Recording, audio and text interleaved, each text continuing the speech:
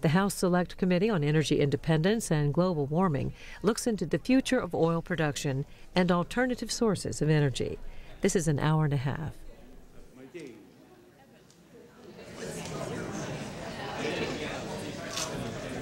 Right now.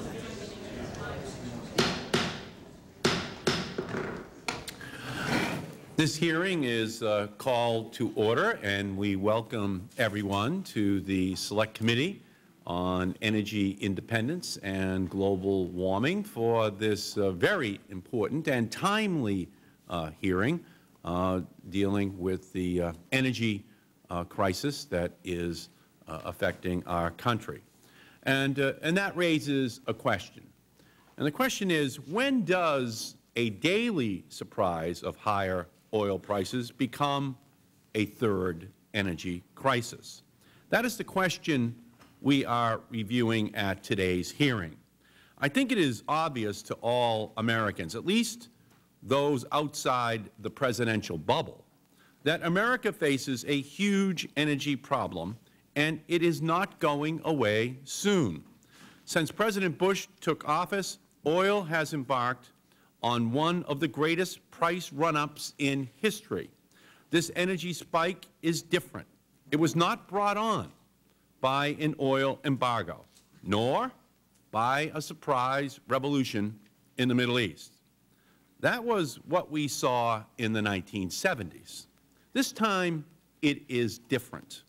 This long, painful run-up is the direct result of an oil president and a Republican Congress executing an oil-centered energy policy. Today we will hear that without fundamental changes, oil demand will rise 30 percent worldwide over the next two decades. Where will all that additional supply come from? Our Republican friends say, go drill in pristine areas like the Arctic Refuge and in deep waters off the outer continental shelf. It sounds like a simple answer, but like so many other simple answers, it's misleading and it is wrong. The United States sits on less than 2 percent of the world's oil reserves, and we consume one quarter, 25 percent of the world's oil. Our own oil supply, without foreign imports, would last just three years. We simply cannot drill our way out of this crisis because we don't have the reserves. Who does have the oil to meet this rising demand? The answer is easy. As always, follow the money. Follow the tanker ships of American dollars that we have been shipping month after month to the Middle East. According to the International Energy Agency, OPEC countries would need to ratchet up production by 57 percent over the next two decades to meet projected demands. Does our President have a problem with this scenario? His visit to Saudi Arabia last month indicates not. In exchange for nothing more than a gentleman's agreement that Saudi, Saudi spigot, spigots will stay open, the President agreed to provide assistance to Saudi Arabia in developing their nuclear power capacity. While American consumers give Saudi Arabia $135 for each barrel of oil, President Bush is giving the Saudis the priceless and dangerous gift of nuclear technology. Even if we are able to drill every last drop of domestic reserves and are able to prod OPEC into further feeding our addiction by increasing capacity, we are left with a much greater problem. Our planet will choke on all of that CO2. If a frog is placed in boiling water, it will jump out. But if it is placed in cold water that is slowly heated, it will never jump out. The heat has slowly been turned up on the American consumer, and now they are being boiled alive. The same thing could be said for our planet. A fundamental change is needed in the way America uses energy. Plug-in hybrid cars to get 100 miles to the gallon, advanced cellulosic biofuels that power the fleet on grasses and crop wastes, public transportation, and more livable cities that reduce the necessity for people to drive everywhere.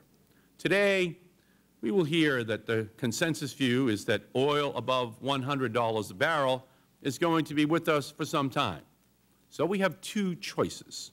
One, continue exporting our wealth overseas, which drives down the value of the dollar, and hope that American consumers can outbid the Chinese and Indians in the world oil market.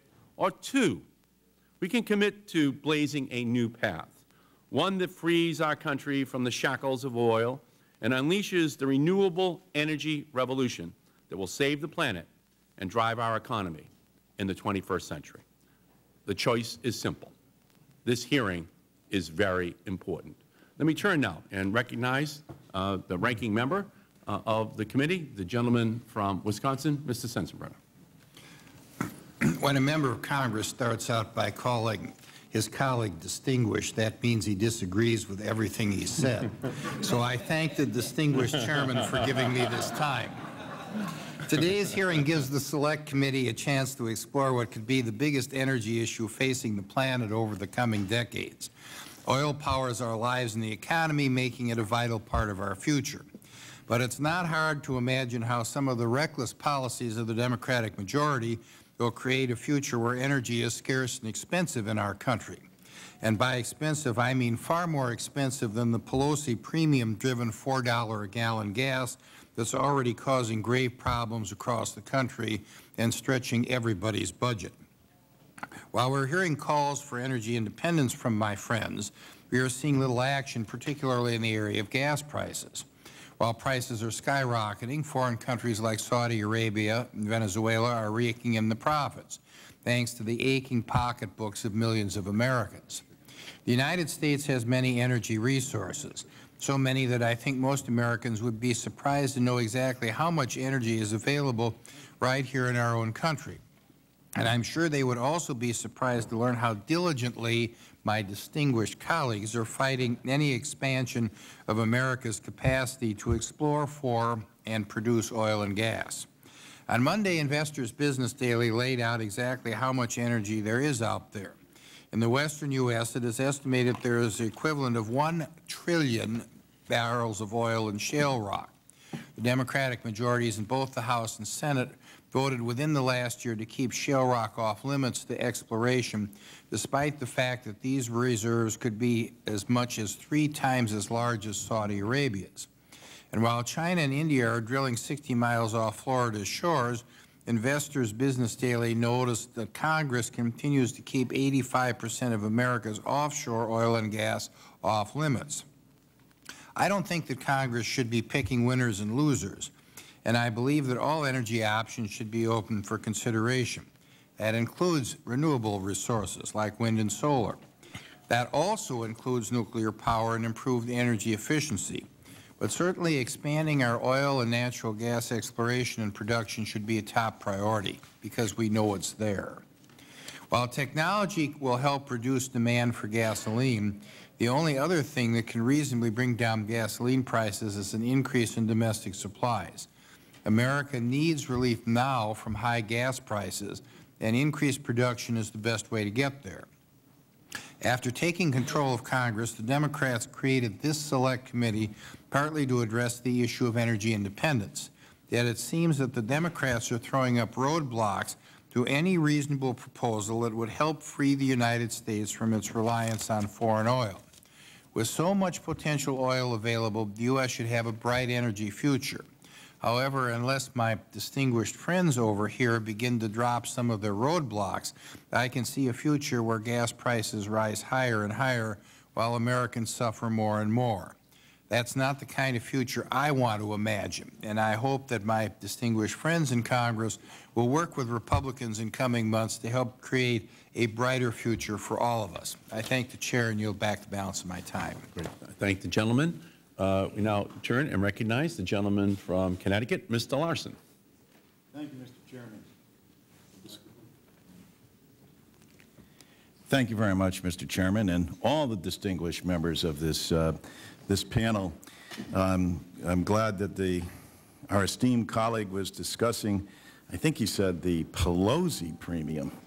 Does that come from the Bush barrelhead of oil? Um, I, uh, I think that it's uh, pretty clear, especially um, in recent testimony, when we see that uh, on our own continent, where this administration has already granted uh, in excess of 10,000 permits on millions of acres uh, that companies could be drilling on, that 67 million acres already permitted aren't being drilled on uh, today. One has to wonder why that's the case. Secondly, the policy of this administration, best described by Thomas Friedman, leave no moolah behind, where we see the United States going hat in hand to Saudi Arabia to try to uh, get from the Saudis some help and esteem and receive basically a slap in the face. Uh, clearly, when we have the opportunity to invest in alternative energy and we see the Senate time after time block the funding, block the funding necessary to make sure that there's a appropriate investment in fuel cell technology, in, uh, in uh, uh solar, wind, uh, these are important aspects that need to be followed through as part of any integrated policy. And I hope to be able to ask the distinguished panelists also how they feel about speculators and whether or not speculators are artificially driving the price up. Are the laws of supply and demand suspended during this time because of speculation? And I'll wait to hear and yield back my time. Great. Gentleman's time has expired. The Chair recognizes the gentleman from Arizona, Mr. Shadegg. I thank the gentleman I thank the gentleman for yielding, and I appreciate holding this, him holding this hearing. I think everyone recognizes it's time to do what we can and to be as aggressive as, as humanly possible uh, at moving off of a fossil fuel-based economy. But no expert has come before this testimony, and no expert has come before the before this committee, and no expert has come before the subcommittee on energy of the Commerce Committee, on which I serve, and said that we can move off of these uh, oil-based uh, fuels uh, overnight, certainly not for a period of years, some as long as uh, beyond 2030. In the meantime, the question is, what do we do as Americans face gas prices? Uh, they say the average in the country today is $4.04 a gallon. In my state of Arizona, it's over $4.15 a gallon for regular. Uh, I would suggest for the sake of this nation, this Congress needs to act, and it needs to act now. America is the third largest producer of oil in the world uh, and could be doing far better. We have enacted policies that lock up billions of barrels of uh, natural gas, of oil and natural gas and we are choosing not to pursue those. Those policies may have made sense when we could buy oil or buy gasoline at $2.50 or $3 a gallon. But when we are forcing the economy, on the economy, gas prices of over $4 a gallon, quickly moving to $5 a gallon and perhaps moving to $6 a gallon, uh, those policies simply make no sense. I would echo the comments of the ranking member. Um, on issue after issue, whether it's Outer Continental Shelf, whether it's the Intermountain West, whether it's oil shale where the U.S. House recently imposed a moratorium, or whether it's ANWR, we have made a decision as a nation to lock up our current supply, and virtually 90 percent of the Democrats in this Congress have voted against supply, vote after vote after vote for the last 15 years, and virtually 90 percent of Republicans have voted to increase supply on vote after vote after vote over the last 15 years. Uh, I don't think you can look backward at those votes and criticize them now, but it is important to look forward because we have to do something about this problem for the sake of the working men and women of America and for the sake of our nation's economy. and with that, I yield back. Great. Gentleman's uh, time has expired. Chair recognizes the gentlelady from California, Ms. Solis. Thank you, Mr. Chairman, and I want to again thank you and our witnesses for being here today to hold this very uh, important hearing on the future of oil. The price of oil hit a record high of 138 per barrel in June of this year, an increase of over 600 percent since 2002. In the district that I represent in East Los Angeles, in California, the price of gasoline is over 460, and that's not even premium. Uh, our economy and our national security, as you know, is very vulnerable as a result of our nation's dependence on oil. Government-owned and operated companies such as the National Iranian Oil Company in Iran represent the top 10 holders of oil reserves internationally. While domestic demand is expected to grow, from 21 million barrels per day to about 25 million barrels per day in 2030, our domestic supply of oil, as we know, is limited. This includes reserves which are already accessible to oil companies for production, yet are not being developed. Why? Domestically, companies have stockpiled near, nearly 10,000 drilling permits, as was stated earlier, which they are not developing. Again, why? One quarter of the public lands and water available for energy development are actually in production. Why? Why can't we drill, we, well, in, in my opinion, we can't drill our way out of this problem. And if the United States was to rely on domestic resources to meet all of our current consumption, all proven reserves would be exhausted in three years. The only long-term sustainable secure solution is to reduce our demand on oil. And I do believe that the Pelosi solution is and was the Energy Independence and Security Act, which became law last December, which increased the fuel economy standards to 35 miles per gallon at a 40 percent increase over current levels. Those are the kinds of activities that this Congress is undertaking, and I'm proud to be a part of that uh, plan that uh, Speaker Pelosi has put forward. And we need more revitalization, renewable energies, and other sources of fuel to get our security independence in order. Uh, I yield back the balance of my time. Great. Uh, gentlelady's time has expired. The Chair recognizes the gentlelady from Tennessee, Ms. Blackburn. Thank you, Mr. Chairman. Thank you for the hearing. And to our witnesses, we appreciate very much that you are here. I don't think there's anyone that denies that the current global market is enduring a period of record prices and tight supplies and increasing demand. And that is where I think we need to focus, is on that supply and demand issue. As we hear the platitudes and the prognostication, we know that what we have done in this country is we have kept our ability to get to our supply. Quite frankly, I'm one of those members that I think the smartest thing we could do would be to repeal the provisions from last year's Energy Independence and Security Act because we are making it impossible to explore for American soil on American oil. And the American people are really quite offended that the most creative thing that has come out of this 110th Congress to address energy issues is to repeal the light bulb. That does not help them when they're paying over $4 a gallon at the pump. And quite frankly, we know that there are worldwide reserves that would take care of the next 30 years at the current rate of consumption. We know that there are American reserves that are off limits and it would handle, it would give us a sufficient supply for 100 years. So yes, we need to be looking at what we're going to do as Americans to find an American solution to this problem short-term, mid-range, and long-term answers that will address the needs of our nation, and I am looking forward to hearing from each of you how you think we should best address it in the short term right now, mid-range, with the next 20 years, and in the long term. Where is thoughtful innovation heading? Thank you, Mr. Chairman. I yield back. Great. Gentlelady's time has expired. The Chair recognizes the gentleman from New York, Mr. Hall. Thank you, Mr. Chairman. Uh, the reality is that as we sit here today discussing our future and oil's future, we are really taking a look at whether our country's future will be prosperous or painful. We're at a clear fork in the road and must choose which path to take. In one direction, there is the path that leads in the direction of business as usual, based on oil as the prime mover of our vehicles and our economy. With gas prices at record highs, all we hear from the oil companies, their allies in Congress, is we need to drill, drill, drill for more oil here at home. Well, I would ask you, with uh, all deference to my distinguished colleagues on the other side of the aisle, who is stopping you? About 75 percent of the oil in the United States is on land that is already open for production, but less than one-third of that land is actually being used by the oil companies. They are literally sitting on 10,000 permits and millions of acres of leased land that they've already uh, paid for that would let them start pulling more oil out of the ground. Our President, George W. Bush, said when oil was only $50 a, a barrel that there should be no need for more incentive for oil companies uh, to drill for oil. Now at 135, I can't imagine that there's more incentive. So I'm wondering why are they sitting on uh, millions of acres of already leased land here in the United States?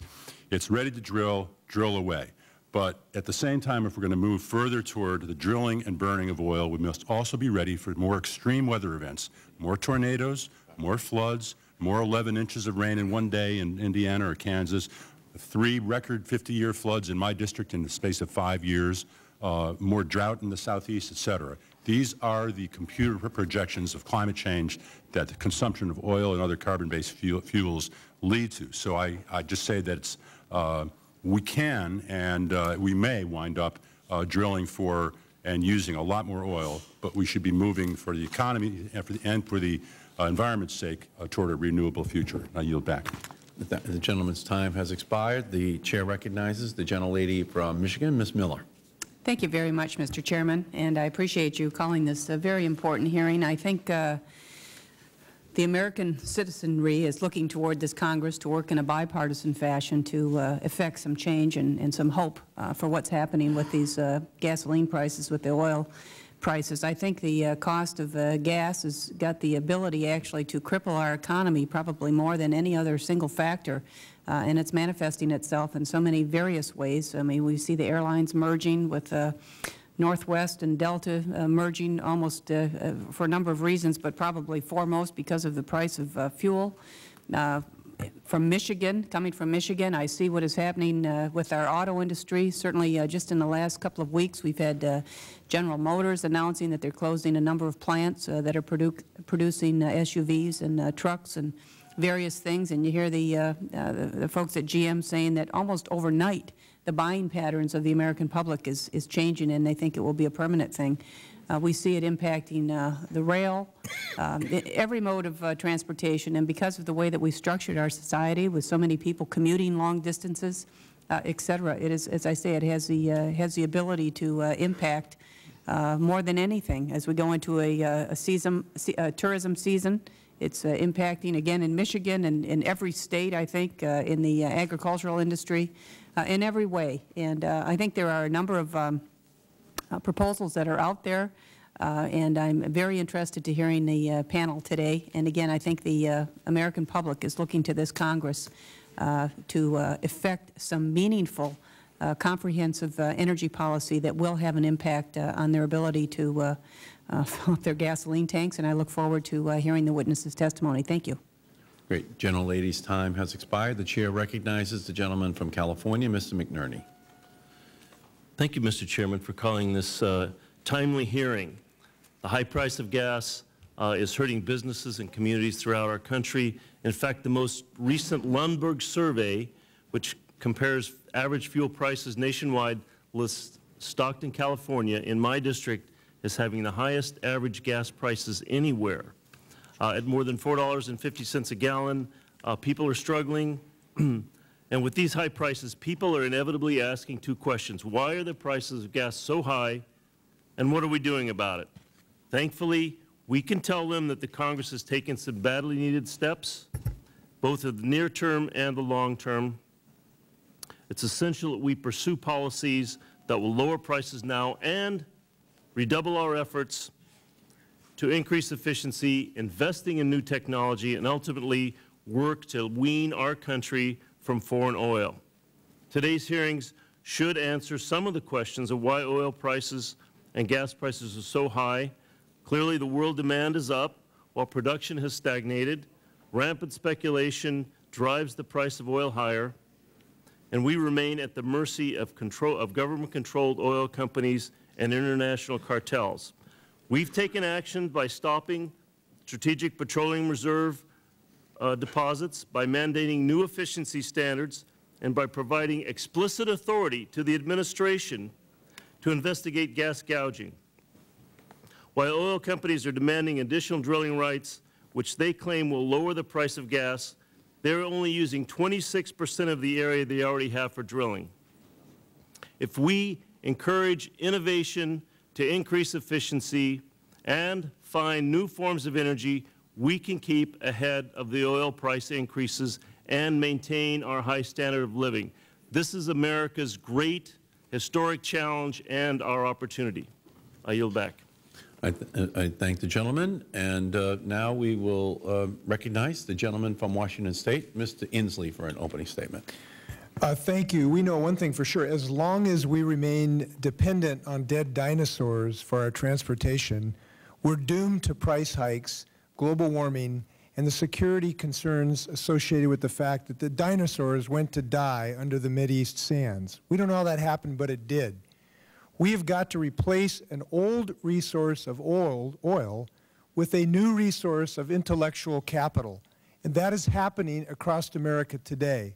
And our fundamental challenge is to get on with the business of hastening this giant clean energy revolution that's now happening across the country. It's happening at the Sapphire Energy Company in California that's developing a gasoline made from algae. It's happening at the A123 Battery Company in Boston that's making the lithium-ion batteries that are going to power the GM Volt, a plug-in hybrid car. car. It's happening at the Phoenix Motor Car Company, a company I'm meeting with this afternoon. Going to have an electric car that runs 100 miles just on a charge. It's happening at the Bright Source Solar Thermal Company that's developing solar thermal energy with zero CO2 input. What do all those companies have in common? They're not based on dead dinosaurs. They're based on living geniuses. And those are living American geniuses. And one of the things Mr. Shadegg said, my friend, said, that this revolution is not going to take place overnight. None of us can promise the American people to congressional snap of the finger to create these new technologies overnight. They are going to take years, if not decades. But that is a reason to start today, not to wait another three years. The fact that this may take a, a year or two means it's more important to start today rather than less important. And that's why the debates we're having are the debates between the optimists on this side of the aisle who believe in the power of this intellectual capital and some pessimists who want to remain addicted to dead dinosaurs. That's what the debate is. Let's move forward on clean energy revolution. The gentleman's, uh, the gentleman's time has expired, and all time for opening statements from the members of the Select Committee has been completed. And now we'll turn to our very distinguished panel. And our first witness, who is uh, Mr. Paul Caruso. Uh, he has been the administrator of the Energy Information Administration for the past six years.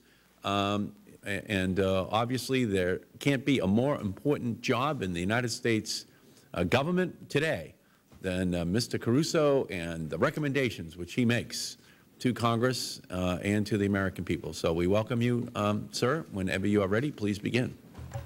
Uh, thank you very much, Mr. Chairman. I appreciate the opportunity to appear today be, to discuss the long-term outlook for oil in the United States and globally. The Energy Information Administration, EIA, is the independent statistical and analytical agency within the Department of Energy. And as such, we do not promote, formulate, or take positions on policy matters. In our view, should not be construed as representing those of the Department of Energy or the administration.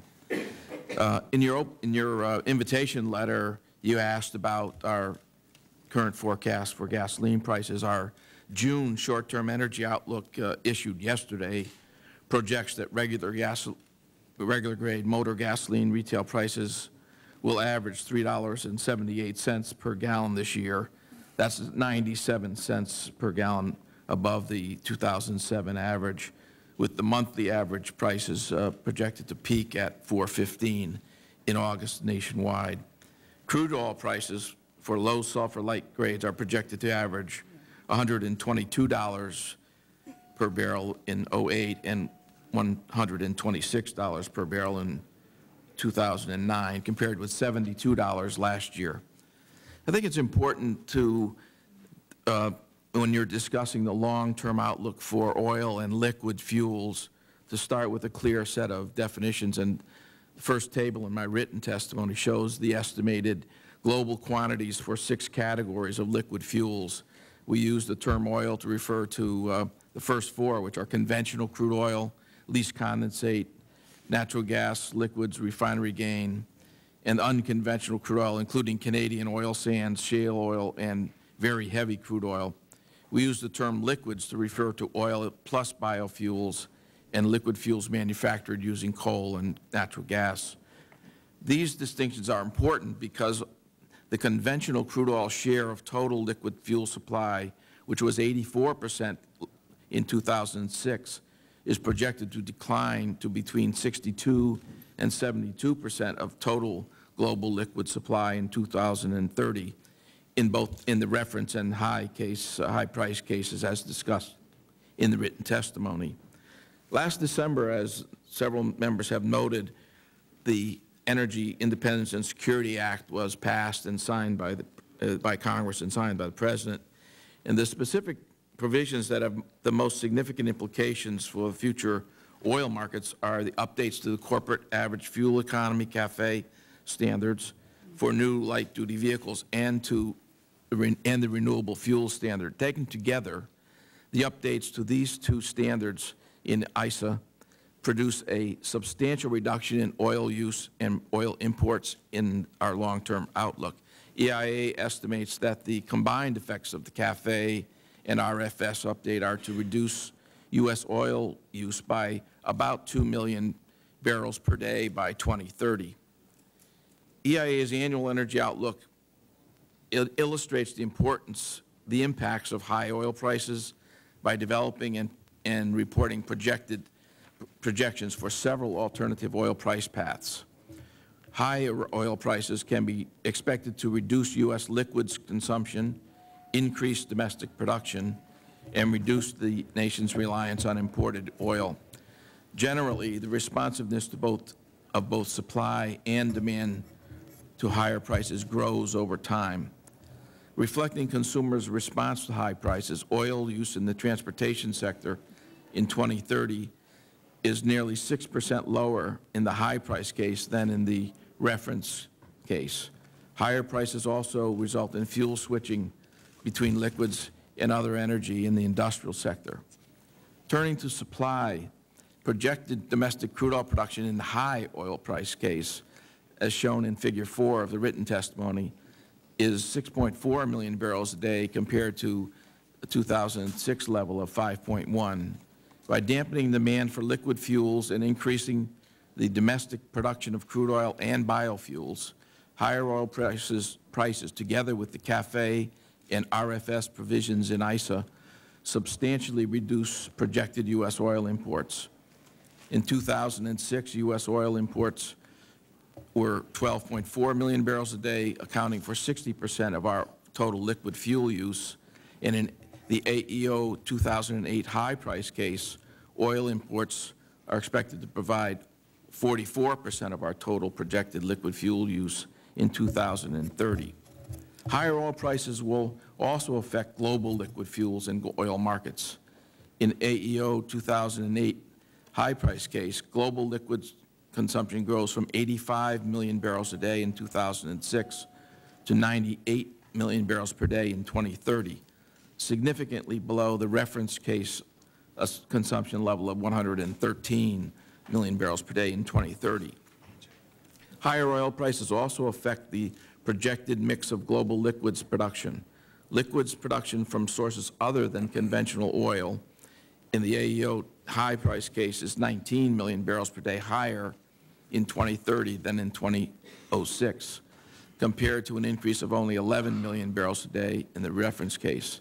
In conclusion, Mr. Chairman, both the reference and high price case in the AEO 2008 suggest that liquids will continue as a primary global fuel through 2030, although they are expected to re represent a declining share in the total energy mix. The share of oil and especially conventional oil in the overall liquid, liquids mix is also expected to decline. In the high oil, in the high oil price case, overall liquids to 2030 use grows by about 15 percent, while conventional crude oil production declines by more than 15 percent. Policy decisions taken by this body and others will make it expected to be a key driver in, in changing this business as usual outlook. And we certainly look forward to working with uh, you, Mr. Chairman, members of the committee and other committees in this Congress to provide the best data and analysis to help you make your choices. Thank, Thank you, Mr. Caruso, very much. Our next uh, witness is Adam Sieminski, who is the Chief Energy Economist for uh, Deutsche Bank. Uh, he has spent his life uh, uh, analyzing uh, energy uh, markets and uh, climate change, commodity prices, uh, and uh, uh, energy uh, um, uh, economics. And we uh, welcome you, sir. Uh, whenever you are ready, please begin. Uh, Mr. Chairman, thank you very much for uh, inviting me. And uh, in the spirit of the discussions I had when I was asked to come today, uh, I was talking with both the majority and the minority staff. And uh, listening to some of the discussions going back and forth here this morning, what I'd like to offer as a suggestion is that the ideas that have been proposed on both sides of the aisle are not mutually exclusive. In fact, the National Petroleum Council uh, did a report uh, about a year ago, uh, came to the same conclusion, saying that uh, we are having supply problems, and, uh, but we're not running out of resources. And to mitigate the risks on the supply side, we need to expand just about everything that we can do. All economic energy sources are going to be required to solve the problems that we're having. Coal, nuclear, renewables, unconventional oil and gas. Uh, getting acreage opened up or worrying about uh, the low proportion of acreage that's being drilled on uh, doesn't seem to me to be the heart of the issue. The heart of the issue is what is the resource that's on those acres and where are the resources and can you get at those resources? Uh, if the oil is in Alaska or offshore, uh, then those are the acres that need to be opened up, um, you know, not, not the other ones. Uh, the other thing that the National Petroleum Council said was that uh, we really do need to look at demand management on the energy side, policies designed to moderate growing uh, demand for energy and increasing efficiency in transportation, residential, commercial, industrial uses should really be encouraged. So I applaud uh, the ideas that have come out here, and I think we should move on all of these, not just some of them. There's no silver bullet to solving the problems that we have in the energy area. We've got to do it all and we needed to do it yesterday. So the sooner we get on with it, uh, the happier I believe the American uh, consumers and voters are going to be. Um, I tried to answer the questions that were submitted to me by the staff, and they're in my testimony, and they'll be in the record. Uh, but rather than to go into all of that, what I'd like to offer is uh, another suggestion about what has changed? Everybody is looking at the price of oil and saying, well, nothing has changed in the last year. Why is the price of oil up so much? There must be uh, some underlying conspiracy or problem. And let me offer two things that have changed very dramatically in the last year and that I think uh, have given us the situation that we're in. First, the U.S. economy has slowed down, but it has not spilled over into the rest of the world where energy demand and especially oil demand are still growing very strongly. And in fact, if you look at the projections, uh, you know, we may be on an overall global basis be at 110 million barrels a day of demand by the year 2030, some 95, 96 or 97 million barrels a day by 2015. The second thing that's changed is that uh, there is an accumulating amount of evidence suggesting that we may actually run into a problem of being able to deliver more than 95 or 100 million barrels a day of oil, not because of a resource issue, but because of access issues, getting access to the places that have the oil. If we can't do that, then there is going to be a problem because demand is going to be a lot higher than supply. That situation or potential situation, I think, is what's informing the markets that are lifting prices to try to find some way to rebalance in everybody's models for where the future of the oil market lies, to rebalance those models, and it's probably going to require a higher price.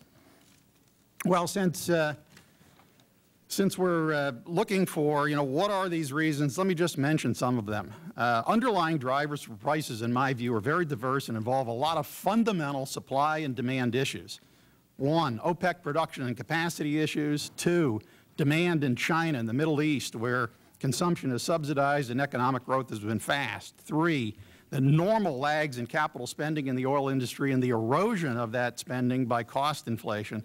Four, central bank policies, very low interest rates fostering high economic growth, cheap money, and a very weak dollar. Five, geopolitical issues, as I mentioned, in places like Russia, Venezuela, Iran, Iraq, Nigeria, and elsewhere that are keeping supplies off the market. Mr. Chairman, we haven't had a huge energy crisis appear, but a series of mini crises. It's sort of we're having the afterquakes without having the big one ahead of time. Uh, fifth, uh, sixth, political decisions themselves. Corn ethanol is a good example of unintended consequences and the ability to get uh, other legislation uh, passed on both conservation efficiency and supply is an issue. And uh, finally, uh, Mr. Chairman, since I think I'm probably going to be asked about this, I've excluded speculation uh, in the sense of rising funds flow into the futures markets uh, from index funds and hedge funds as a reason for the price increase. Volumes in futures really don't matter as much as sentiment. The sentiment is that supply isn't growing fast enough to meet demand, and that's causing prices to rise.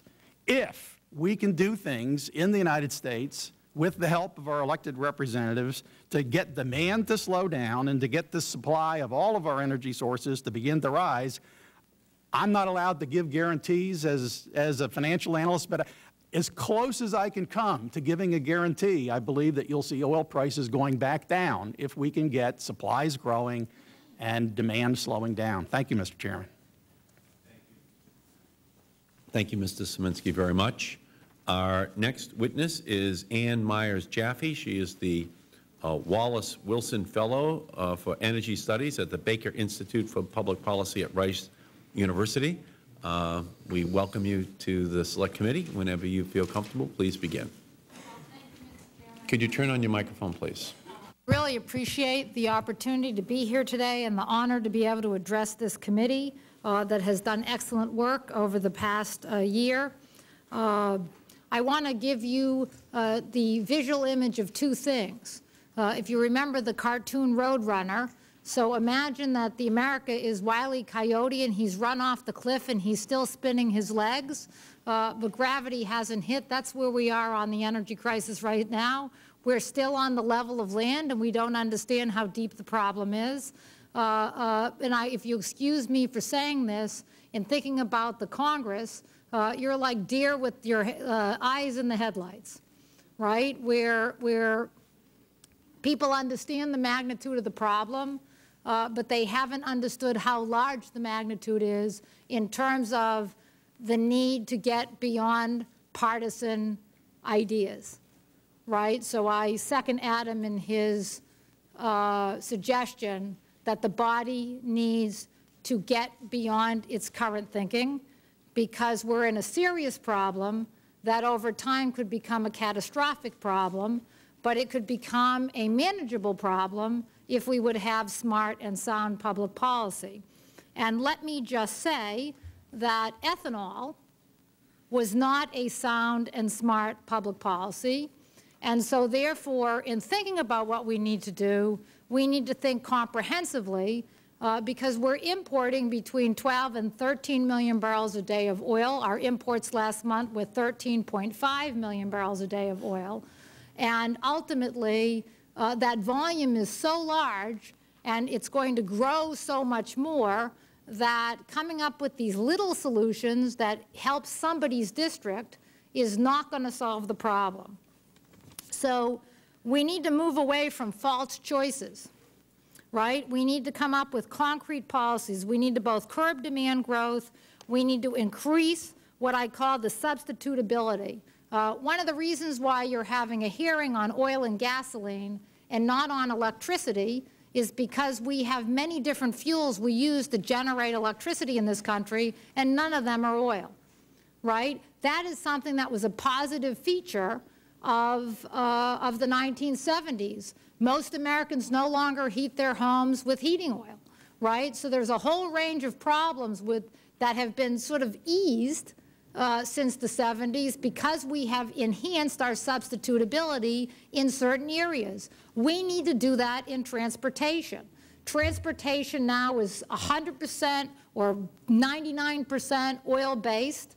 Uh, we now see the emerging technologies where we could diversify that, right? And, and if we look at the wonderful projections that the DOEs and others have done, we know that something like 75 percent of the increase in world demand for oil is going to come from the transportation sector. Now, getting at this issue between drilling versus demand, Uh, the reality is, and Rice University spent two years going into the SEC filings of all the American oil companies, and I welcome you to come, have your staffers come to the web and look at that study. Uh, the reality is that between 2006 and 2007, uh, the five largest oil companies only increased their exploration spending by 10 percent. I mean, that's pretty shocking. I could understand that in 2000 or 2002 when we all said, geez, they should be spending more, they felt cautious about how much of their cash flow to spend. But over the last year, it seems kind of amazing. I think all of you are, are, important people in your own right, in your own areas. If you were the chairman of a company and you saw the commodity price for your entity uh, rising the way it has, uh, I would think that you would have increased spending a little bit more right? Uh, the second thing that's happened in the last year uh, is not only did the majors not increase their exploration spending dramatically, though in fairness to them, they did make some big boosts in 2006. Uh, but remember, costs have gone up 100 percent. So even if they're increasing, uh, uh, if they're increasing under, you know, 50 or 100 percent, they're not increasing at all, right? Uh, that we also see in 2007 that OPEC has announced virtually no new projects for expanding oil fields. And in fact, um, Saudi Arabia announced within the last few months that they're freezing their expansion plans, that they're happy with their plans to go to 12.5 million barrels a day uh, by 2009. Uh, but their previous plans to add new fields to go to 15 million barrels a day seem unnecessary, so they're not going to continue with those plans. In addition, if you look at the research and development spending of our five largest oil companies that are collecting $160 billion in operating cash flow uh, in 2007, they spent together, all five companies, 3.5, I'm sorry, 3.3 billion dollars on R&D. Uh, that is half the annual R&D budget for General Motors or Microsoft. So again, in an age where we need new technologies and uh, uh, a new, uh, new investment, we're not getting the momentum. Now, just a couple of quick facts. we have done simulations. if the offshore continental shelf was open to drilling without restrictions, we could expect a 7 or 8 percent rise in natural gas production, so that's about 1.5 uh, trillion cubic feet higher. Um, and then after about 20, by 2015, and then after that, we could expect a 10 percent increase each year. And then, if, if, you could, uh, if you could it, please summarize. Sure. And then in uh, in oil, we could expect another million to two million barrels a day. If we could get our cars in America to average 50 miles to the gallon, uh, that would mean we could shave six to seven million barrels a day off of demand by 2025. If you could summarize, please. Okay. So in summary, uh, we've seen other countries uh, have more effective energy policy. Uh, Japan is a leader now in automotive technology, and instead of closing factories, uh, they regulated their industry and then also gave them R&D tax breaks to make sure that the cars that they would be selling now would get 30 to 50 miles to the gallon. Thank you very much. Okay, thank you. We appreciate it uh, very much, um, Ms. And you'll have plenty of opportunity in the question and answer period to expound upon your points. Uh, let's now turn to our next uh, witness, uh, who is uh, Athan Manuel. He is the director of the Lands Protection Program for the Sierra Club. Uh, we welcome you, uh, sir, whenever you are ready. Please begin. Well, thank you, Mr. Chairman, and Ranking Minority Member, members of the committee. Good morning. My name is Athan Manuel, and I direct the Lands Program for the Sierra Club. Sierra Club, and I'm here representing over 750,000 Sierra Club members who belong to more than 65 chapters and 45 groups around the country, and that makes us the largest grassroots environmental organization in the country. And before I start, I'm, I'm a little confused as to how I should begin. I, have come to some of these hearings before, and I know a lot of times uh, witnesses open by uh, hailing the Red Sox, but uh, now with the Celtics in the finals, I'm not sure what is the correct way to pander to the chairman on that, so uh, You're doing a good job. Uh, there we go.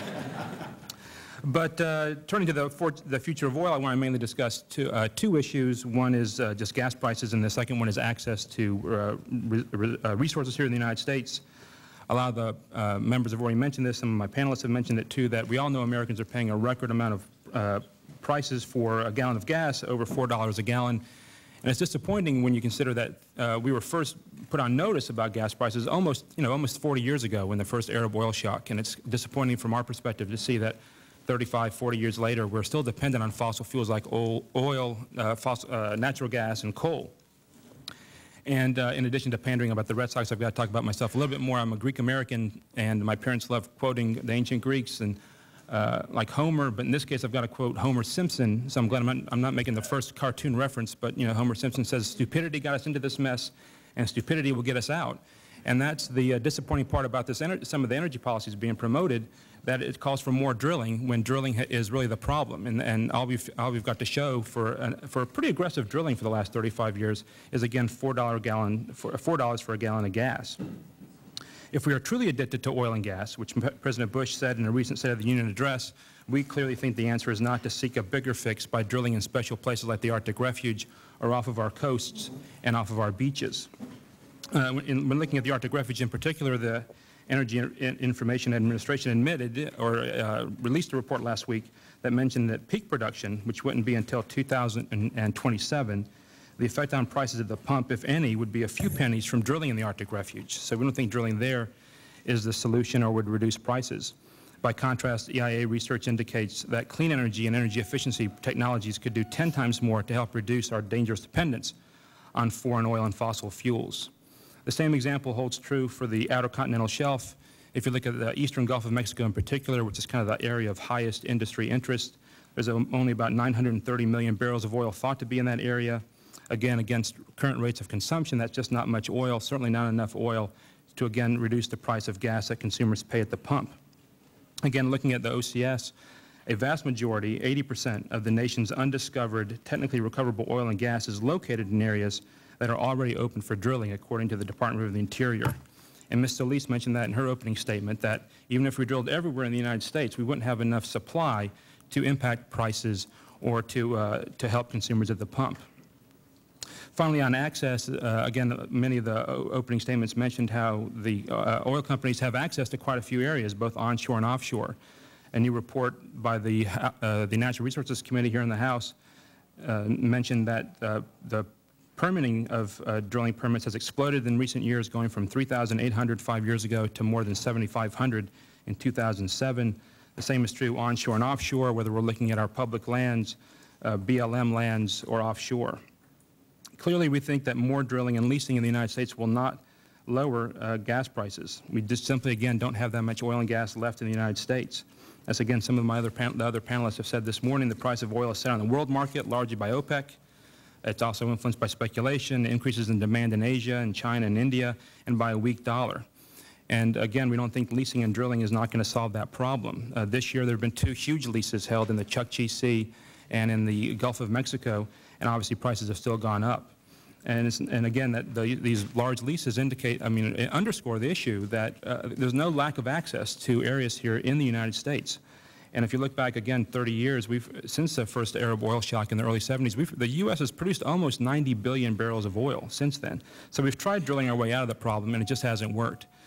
Uh, fortunately, we think now this new Congress is starting to take steps to solve the problem. Last year, under the uh, leadership of Mr. Markey and other members of Congress, Congress did uh, pass uh, increases in fuel economy standards for the first time.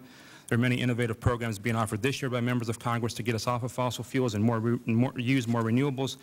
And we think that is clearly the best way to go when looking at energy policy. So when, when we look at the future of oil, we hope that we really see a future of clean, renewable energy and energy efficiency programs. We really are optimistic that America can innovate our way out of this problem. And instead of doing the failed policies of the past, which is, again, more and more drilling everywhere here in the United States, we should look towards energy efficiency solutions, clean energy programs, and renewables that would solve that would get us off of fossil fuels, reduce global warming pollution, greenhouse gas emissions, and put Americans to work on a clean energy future, not a future of oil. Thank you for the, chair, for the time, Mr. Chairman, and for the invitation. Thank you, uh, Mr. Emanuel, very much. And our final witness is Karen Harbert, the Vice President and Managing Director of the Institute for 21st Century Energy. Uh, she has been an Assistant Secretary for Policy and International Affairs at the U.S. Department of uh, Energy. We welcome you, Ms. Harbert. Whenever you're ready, please begin. Thank you, Mr. Chairman, and the ranking members and members of the committee. At the Institute for 21st Century Energy, we believe an affordable, diverse, and secure energy supply is fundamental to our future national security and the expansion of American economic opportunity and prosperity. America needs a comprehensive, common-sense energy policy with a long-term view and durable policy and fiscal commitments. It's no surprise to tell you all that we do not have that now. It will take unprecedented political commitment from the Congress and the executive branch, better partnerships with local and state governments, and much improved relationships with the private sector. We need to be honest about what it's going to take. We need to stop penalizing, demonizing, regulating, and picking winners. We need to instead stimulate investment, incentivize, and innovate solutions to address the greatest threat to the 21st century energy, 21st century. I'm not going to talk about demand growth because that's been covered. I'm going to talk a little bit about what's happening in the oil market and then what we need to do about it. Resources are located in places that are geologically difficult to get to, geographically very difficult. They're in places that are politically unstable, and they're unfriendly to new investment. National oil companies own 50 to 80 percent of the world's proven oil reserves. Energy sector exploration and development costs have risen, and yet the share devoted to exploration has fallen. We are seeing growing resource nationalism around the world. We don't have enough energy professionals. We don't have enough equipment. And NIMBY is a thing of the past. We are now on to banana. Build absolutely nothing anywhere near anything. And even nope, not on planet Earth. Not on planet Earth. That is an unsustainable path to sustain our economic competitiveness if we want to do that. We are not running out of resources. That's simply untrue. We are running out of access to the resources. The International Energy Agency estimates we have 6 to 7 trillion barrels of conventional oil in place around the world. Our U.S. Geological Survey estimates that we have 3.345 trillion recoverable barrels around the world. And if you take out what's already been produced, that leaves anywhere between 1.5 to 3.5 trillion barrels of oil still available. But we have to be able to open markets. We have to be able to have transparent trade, and we have to have fair market pricing of energy and we need to capitalize on our resources here at home.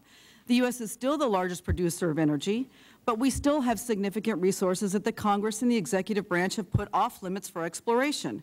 Our Mineral Management Service estimates we have 139 billion barrels of undiscovered oil here in the United States. 80 percent of the Outer Continental Shelf is off limits. That part alone, if we would just use that part of the oil, we would have actually a 35-year supply for gasoline for our cars. We would have heating oil for the millions of homes for the next hundred of years. We are depriving the American consumer of choice and opportunity. May, there was a Gallup poll that demonstrated a huge change in public opinion. 41 percent used to believe that drilling off our coasts and in the wilderness areas should be off limits. 57 percent now support it. We need to listen to the American people and their pocketbooks. We need to develop a comprehensive plan, and we need the comprehensive plan to embrace the following concepts. We need to increase and diversify supply. We need to increase our suppliers. We need to improve energy efficiency. That is the next best source of energy is the one we currently waste.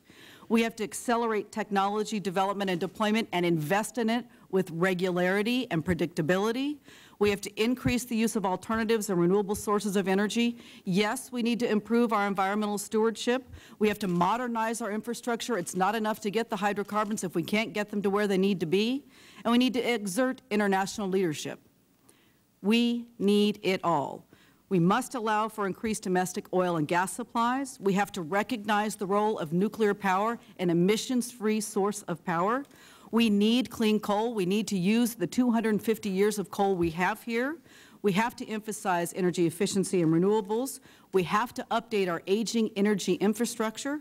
We have to be better environmental stewards, and we have to develop, deploy those clean technologies that will improve our trade imbalances and accelerate American competitiveness. If we unleash that entrepreneurial power that has helped us in many crises in the past, we can make widespread use of technology to use our coal. We can generate a second, we can create a second generation of biofuels that will not conflict with food demands. We can build safe, emissions-free nuclear power plants, and we can drill responsibly on and off of our shores. But we have to inform the public and policymakers with due respect about the huge challenge we're in, the choices we have, and the urgency of this matter. We have to consider the trade-offs, the costs, and the feasibility and viability of what we are proposing. We need less rhetoric. We need more facts. There's no single solution, no single fuel. We must embrace all sources. I'd like to leave you with the thought that the decisions we make, this Congress makes, the next Congress, and the next President, those decisions we make in the next few years, we will be with those decisions for generations to come. We need to take it responsibly, seriously. The stakes are enormous for our competitiveness and for our national security. And we at the Institute for 21st Century Energy look forward to being a constructive and integral part of the deliberation this country desperately needs. Thank you. Uh, thank you, Ms. Harbert, very much. And now we will turn to questions from uh, the uh, Select uh, Committee members. Uh, and the Chair recognizes himself. Uh, Mr. Caruso, um, I'm wondering why it is that your, your agency is predicting that the price of oil is going to go below $57 a barrel in 2016, and then even further out, uh, you're predicting that the price of a barrel of oil is going down uh, to $70 a, a, barrel by 2030. So on the one hand, uh, America believes that we're in an energy crisis. Uh, and I think that all of us really feel that. What your projections are in your agency is by 2016, uh, the price will be pretty much cut in half, and by 2030, it really gets even better because these are constant dollars. How can you explain that? It doesn't make any sense to people that the price of oil is going to be going down. Well, just to start off with a point of clarification, those uh, prices you quoted are the assumptions for the world oil price in our annual energy outlook that was released uh, several months ago, and they are only one of a number of scenarios that we look at. We, but we the problem, the problem Mr. Caruso, the, the, problem with that is that the um, NHTSA, the Department of Transportation, uses those projections to then determine what the cost-benefit analysis is for increasing the fuel economy standards for the mm-hmm. vehicles that we have to drive in 2016 and 2020 and 2030. So if you give them that number, then the cost-benefit, of course, is much lower in terms of the benefit to America. The higher the prices, if you were projecting $4 a, a gallon or $5 a gallon, well, then NHTSA is free to increase by 5 or 6 or 7 miles per gallon the efficiency of the vehicles by 2020 uh, 2030. Uh, so your number is very relevant because it goes right to the question of the pressure which is going to be applied um, to the wilderness areas in the United States. The more efficient the vehicles, we put 70 percent of all oil we consume in vehicles, is the less pressure there is to drill in pristine uh, wilderness areas. So your projection is, I think, way off. I don't think it's even remotely close uh, to where the price of oil is going to be, and it has a profound impact then on all the other decisions which are made.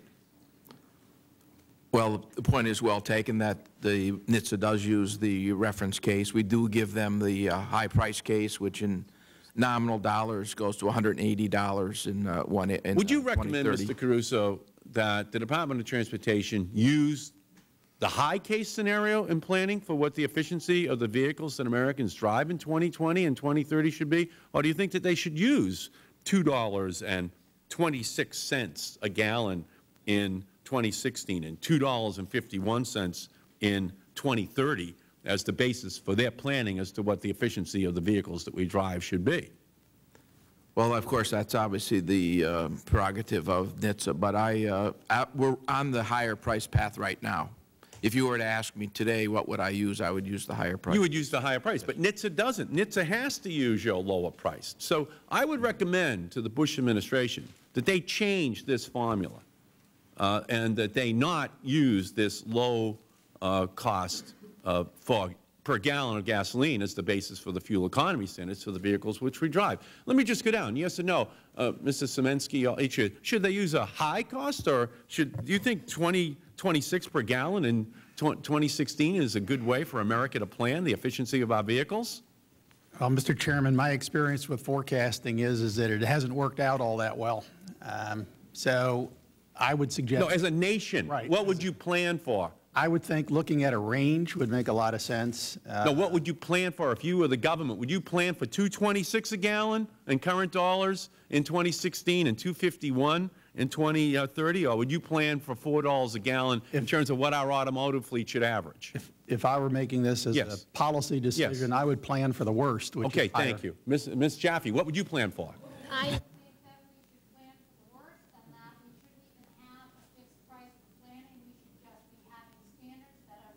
Okay, thank, I, I appreciate it. Mr. Manuel, what would you plan for?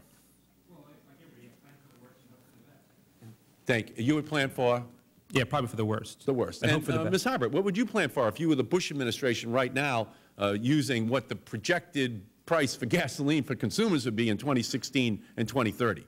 But you know, it's a little more complicated than that because you have to affix the mandates that you're going to impose with technology availability. You have to introduce when is the technology going to be available. I understand that. What would you those plan for? You're the Chamber of Commerce. You're the, cha- you're planning, the Chamber The of great news is Commerce I is think planning that the- for what the price for all of its members are going to be in 2016 and 2030, Ms. Harbert. Would you plan for tw- $2 and uh, $26 a gallon for all of your members to, uh, or, uh, or, or, uh, by 2016, $2.51? Or would you recommend that the government plan that there be a much higher price and therefore adjust what the, what the expectations are from the transportation sector? I will note that the BP statistical uh, outlook, which just came out, noted that they thought 105 was a fair price. That was according to BP. $105 a barrel.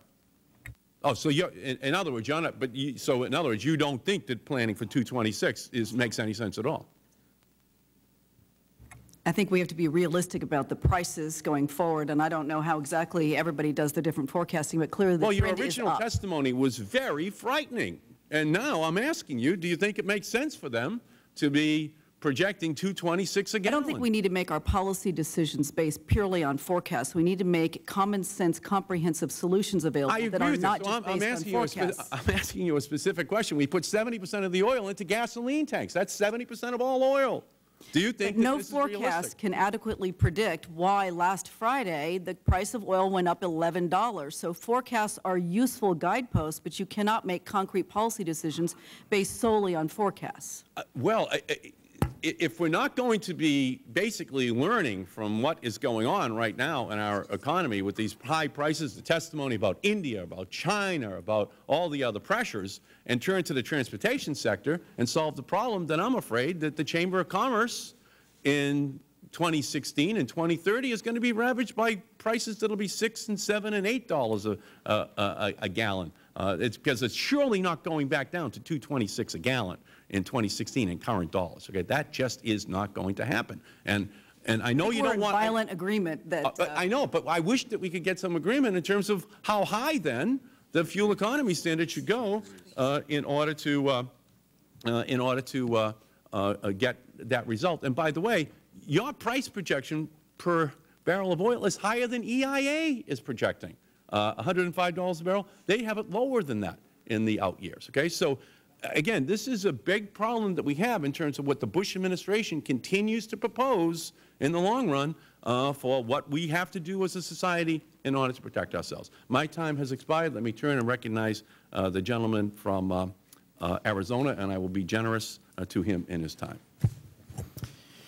Thank you, Mr. Chairman. Mr. Sieminski, I want to begin with you. I listened carefully to your testimony, um, and you stated that we are not running out of oil. Uh, you said that we need to look at what's out there and where, where the resource is on the acres that are available. Uh, and then you talked about the importance of being able to get to those resources. Uh, and you said that if the resource is on lands that are essentially locked up, those are the lands that need to be released. I take it then that you believe that there are lands where we have locked up the supply and cannot get to them at the current time. Is that correct? That's correct. You also said, and I, I thought it was important, uh, that uh, we may be uh, reaching a point where we have a problem getting to the acres where the supplies are. Are there some that you can identify? Uh, Yes, sir. We know that there is natural gas off of the coast of Florida. It's already been discovered, and it's not being produced because of environmental concerns that seem to me to be uh, uh, overreacting. The last legislation that failed on that issue, if I'm correct, proposed that we would not allow a natural gas well to be closer than 50 miles from the shore. uh, and that was found to be objectionable because of site pollution. Uh, do you happen to believe that you can see 50 miles out uh, into the ocean and see an oil rig? Uh, it, it actually gets worse than that. Um, the Cuban government will be drilling closer to the shore of Florida than the United States will be drilling. So that's not an urban myth, that's a fact? That is a fact. Um, uh, there is concern about uh, environmental concerns, and I think every witness acknowledged those. I would certainly acknowledge those. Um, do you know uh, what happens at a, a, natural gas rig where there is a, a, leak, and have there been any leaks at natural gas uh, rigs recently? Well, this is the, one of the factors that pains me when I think about this is uh, in talking with uh, a uh, county representative, elected county representative that I've been friends with for years uh, in the Tallahassee area, I said, can you convince your constituents to think about uh, looking at this gas field, you're going to need it in Florida. We have a power problem, as uh, Amy mentioned. Uh, we could very easily have electricity shortages three, four, or five years from now. Natural gas is going to be the only way to do that. Natural gas is clean. If you do have a spill, it's not going to foul the beaches in, in Florida.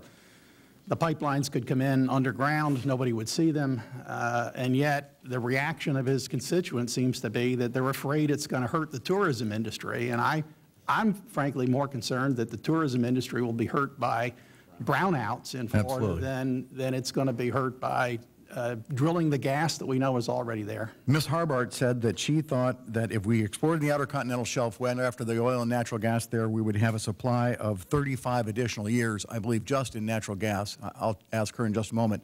Do you agree with that the supplies are in that neighborhood? Uh, that we need to get from that, that we could get from the Outer Continental Shelf? Yeah, I, you know, the, those numbers, uh, Guy Caruso will have, those are the people at okay. EIA, uh, but uh, it's, it's substantial. And let me just make one quick comment on that. Uh, the idea that it's only a small proportion of our energy needs when you look at it over an annual basis or over a period of time, I think is really, uh, is missing the whole point.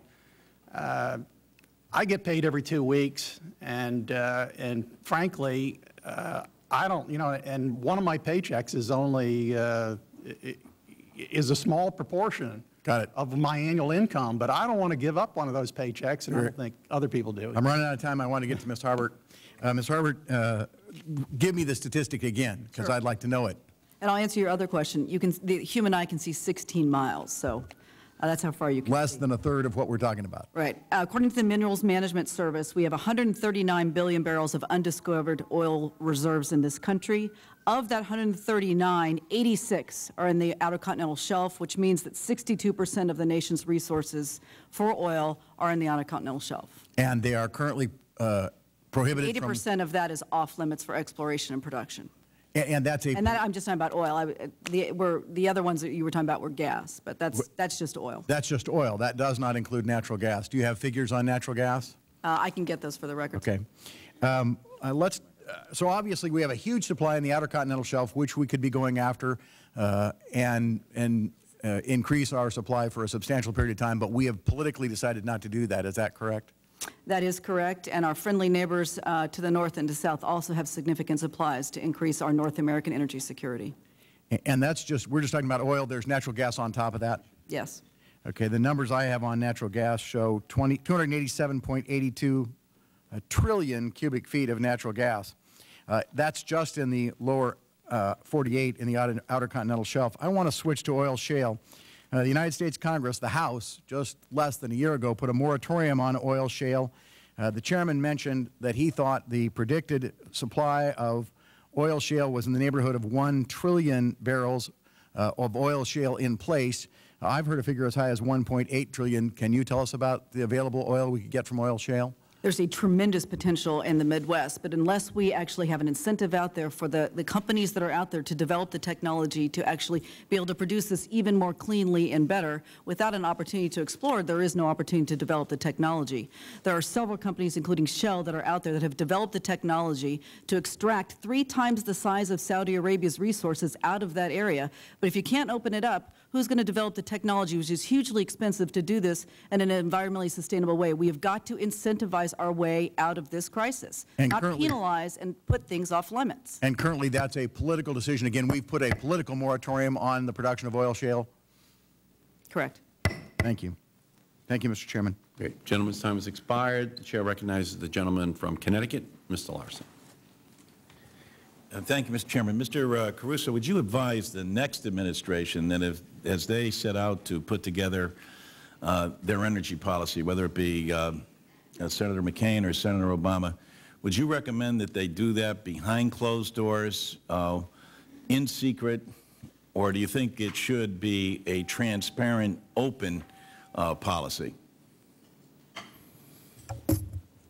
Well, I'm head of a statistical agency, and we believe in transparency and openness, so I certainly uh, think that works best. Do you think that that in part and parcel is a problem with the American public when they, as everyone is working towards solutions, that when you do things behind closed doors in the dark of night, uh, that you, it seems to the American people, especially when you come from a background of oil yourself, that somehow, not you personally, but the Vice President, that somehow these uh, things aren't transparent? I'm, uh, I'm obviously not familiar with. Is there anyone in the, on the panel who doesn't believe that we shouldn't have a more open and transparent policy uh, with respect to our energy policy? I would just like to add to that, that there is a tremendous amount of disinformation that goes out to the public on the factual, indisputable technicalities of oil and gas, and that uh, to the extent that people feel the need to fulfill what they think their constituencies want to hear, and they go on CNN and tell the public something that is factually incorrect, that makes the work of everybody on this panel 10 times harder because we have to spend a tremendous amount of time publishing documents that put out factual things about what car technology is available, about how many lands are available for drilling. Well, we just It makes it received very some uh, very good testimony. I thank the panelists, et cetera, and uh, one of them, in talking about this, was going through the notion that you can't explain why oil, you know, uh, went up $11 a barrel. I think it was um. Harbert who said that. Are the laws of supply and demand suspended? And isn't it the fact that the dark markets have taken over in terms of speculation? Is speculation part and parcel of what's driving the cost of, of oil up artificially so that we can't, from a policy perspective, get our arms around this? If, if I could try a quick answer to that, um, the $11 move that we had last week, uh, two of the factors that played into that were, one, a uh, outage on a significant natural gas pipeline in Australia that has raised the demand for distillate fuels in that country to keep their mines open, so the metals mine. Funny thing is, my constituents, when I go back home and talk to them, they say, how is it that something happens and then immediately the next day at the, the prices go up in gasoline or in any kind, and yet when things happen where they say demand, demand is less and things are going, the prices stay the same, they don't come down. Are the laws of supply and demand suspended, and are, is the industry at the whim of speculators, especially those that are unregulated and unseen, with the capability of driving the marketplace up artificially? Yes or no? Do you think that that's the case? Is that a problem or not? Yes, I think it's a problem. We're in a bubble Good, yes. mania So in the what about you, Mr.? um, Well, I don't think it's uh, one thing, probably. It's, I think speculation is a part of the problem. saying it's Increased demand is part of the problem. Uh, The the weak dollar. Speculation have any role in this? We have a very, very tight market between supply and demand, and to the extent that our economy, the receding dollar, et cetera, are exacerbating that, that if We, you uh, look Should we at, regulate the dark markets? if you look at speculation, it's adding volatility into the market, but it would do nothing to turn around and reduce and reverse the price increase. We want the transparency that everybody, We, we want the markets to clear and to function because otherwise it'll be even less orderly, and we should we had that in look the 70s. into the dark markets? Well, what we need to do. Should they be regulated? No. Should they be They are transparent? regulated. We need to Who? look at. Who regulates the uh, over-the-counter The market? Commodities Futures Exchange. No, it doesn't. What we really need to do is think about how much speculation and what kind of speculation it is and what are the solutions. How can So you one determine that solution- if they're unregulated? What do you One- think one about that, Mr. solution might Caruso? be Excuse me, to Mr. have Jaffe, thank you. margin requirements Mr. Caruso, that are my higher. time's run. What do you think about that? Should we be regulating these unregulated dark markets? I think we need more information from those markets to be be able to understand How do you get it if they're not regulated? Well, it- they may need to be. And the uh, CFTC, FTC, and Department of Justice uh, are meeting tomorrow in their first uh, task force meeting to look at that issue. After more than two and a half years of our pleading that they do so, but it still doesn't answer the question of the dark markets and their ability to be unregulated and to speculate uh, on what's happening and drive these costs up. People in my district call that economic terrorism. It's something we ought to be making sure that the Justice Department is involved in. And Mr. Larson, if I may, that just all this stuff's just another reminder that we need to get off of oil. I mean, this stuff is, uh, you know, this is not sustainable the way the the markets are wor- working or where it's located. We just need to wean ourselves off of fossil fuels. I agree wholeheartedly, but in the, in the meantime, as my grandfather would say, trust everyone but cut the cards. We not only need to cut the cards, we need a new deal here. We also need to think more flexibly about how and when we use the Strategic Petroleum Reserve and the IEA stockpiling system. This administration, unlike previous administrations, has said that the SPR is off the books except for national war emergencies, and we are not using a tool that we had that was used successfully by the Clinton administration to cap speculators out of the market. So we haven't looked at that. We haven't debated it. I would guess from my long experience and, and watching the way, uh, as, as uh, Adam put it, market sentiment is determined that if the markets felt that some uh, player with strategic stocks was going to come in and possibly make a release, they'd be a little less confident about buying the market long. Gentleman's time has expired. The Chair recognizes the gentleman from Oregon. Thank you, Mr. Chairman. I appreciate the hearing, and I think there's been some good information come out of it. Um, Mrs. Harbert, I, I especially appreciate your testimony, and uh, I, I keep hearing uh, from Mr. Manuel that we need to stop using oil, natural gas, and coal, I think he said, are, are sort of the evil energy sources of the United States, and that we need to wean ourselves off of those sources. My question for you and, and for Mr. Caruso is, what's the practicality of that? What do you replace them with? And how soon could you do that? No, I'm, I'm asking Mrs. Harbert. For the benefit of our economy and our national security, we want to reduce our dependence on any single fuel. In this case, it happens to be oil. We do need a diverse supply. However, it is unrealistic to think that we will not have hydrocarbons as a very large part of our future for the foreseeable future. And we need to figure out how to make that a stable, secure supply.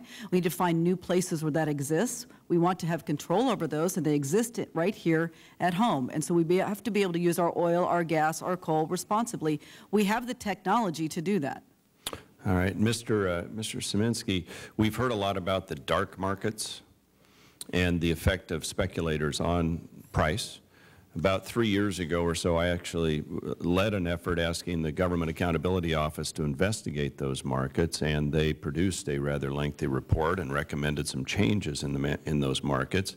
And I think there's a certain element of speculation that drives up price, but I thought you made a pretty good point about why the speculators are in those markets. And does, it, it was what you were saying is that has a lot to do with the fact that we lock up most of our new resource or available resource in this country? Well, and that it's it's just a a, global uh, market with, the, with increasing demand? It's a concern that uh, supplies are looking more and more limited and demand, at least outside of the United States so far, hasn't been reacting all that much to prices. So I think that we're involved in a very painful economic experiment to try to find out what price is required to get uh, supplies to rise and demand to go down. As far as the dark markets are concerned, let me make three comments. Uh, Guy attended a meeting at the Commodities Future Trading Commission yesterday. I uh, listened very carefully to the testimony there. The uh, CFTC is very concerned about uh, three major areas, the over-the-counter trading, uh, Right. which doesn't have the same reporting requirements, swaps dealers, where, where who is defined as speculators versus non-speculators are, are, issue, are at issue, and foreign exchanges, where uh, some of the contracts traded on the NYMEX here in America Right. are also traded overseas. Uh, The uh, staff at the CFTC has actually looked into a number of these things, and uh, so far, from the data that they have, they don't think that there are big issues there. Uh, I'm all in favor of switching the light on the dark markets. You bet. Uh, The people I work with on the trading desk are all in favor of transparency. I don't think there'll be a monster in the room when the light goes on. All right, then, If, if that's the case, then it really does get back to supply and demand curve. Now, I, I don't know about anybody else. I, I drive a hybrid here, and I drive a hybrid back in Oregon. I'm try, I've, I've increased my mileage by 60 percent in Oregon and doubled it here. Um, not everybody has the luxury of, of investing in a hybrid. I, I don't know how many of you shop at Walmart. I get in there about once a week back in my hometown. There are a lot of Walmart moms and a lot of diesel driving, truck driving dads. They're having a hell of a time making ends meet. And that's the case. And, and Mr. Manuel, I've, I've heard, you know, from the Sierra Club on this issue of no new drilling anywhere. It won't help us anyhow. And I got to tell you, I'm, I'm coming down more on the side that says access to proven reserves in America creates American jobs, American energy, and it will have an effect on price over time. So I'm going to have to respectfully disagree with you, but it wouldn't be the first time because I know your, your group doesn't want us to cut any trees in the national forest either, so we let them burn. But that's another subject for another day. Um, but but I, I want to get back to this issue, Mr. Sieminski. If Congress were to act to open up the OCS or ANWR or shales or tar sands, if we were just to pass a law, knowing that it wouldn't, we wouldn't actually extract those resources for 10 or 20 years, do you think the simple act of Congress saying we've changed America's energy policy would have an effect on markets and speculators? Uh, yes, sir, I do. Uh, I think that, it, as I said during the course of my first remarks, it's the sentiment that matters. Right now, uh, everybody in the oil markets is making this assumption that demand isn't going to go down and supply okay. you know, is going to be fixed. This if we can change that thinking, and changing that thinking would be, look, we're going to open up the Outer Continental Shelf. We're going to uh, start building nuclear power plants five a year for the next 20 years, and we're going to pass even stricter fuel efficiency right. standards on automobiles than we did before, and even do things like uh, the light bulbs. I mean, that's not the wrong thing to do. That's like one of the small steps we did we that. We have to take I all of these small steps, yes. and we have to do it all at the same time.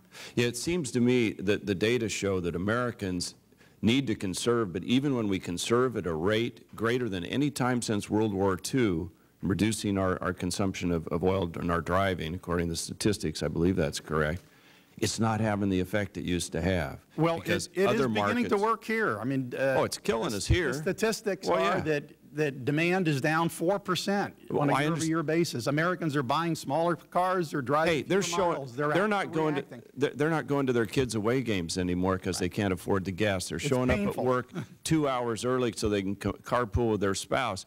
You know, they are they're making tough decisions in their lives, and that's you know I want people to conserve, but I don't Mr. Chairman, I, I, everybody's gone at least a minute and a half over. So yeah, no, you're you're at a minute and six right now, and I'm just I'm. That, you were 223. I'm at, um, I'm saying I, I did not say a word. I just tapped lightly to give you a notice that you're you're you're away. I'm worried time, about that other hand of yours, but I did though, not, with that club thing on it. Well, I would give my right arm to be able to say what I really want to say right now, but but the um, but you're you're over, and I'm just tapping lightly. I'll I'll I'll give up. 244. No, I'm, I'm just. Well, I, I, I was just I don't know where I was going with it. I'll I'll quit at that. If if everyone in the country telecommuted one day a week, starting tomorrow, we would save 20 percent of our oil use. And and that's great. Except I represent a district that's 70,000 square miles, where you got you don't pull a horse trailer with a Prius. I own a Prius. You can't drive a horse. Telecommute. In other words, you work what, from you, home. Uh, ma'am, ma'am, you ever been on a cattle ranch?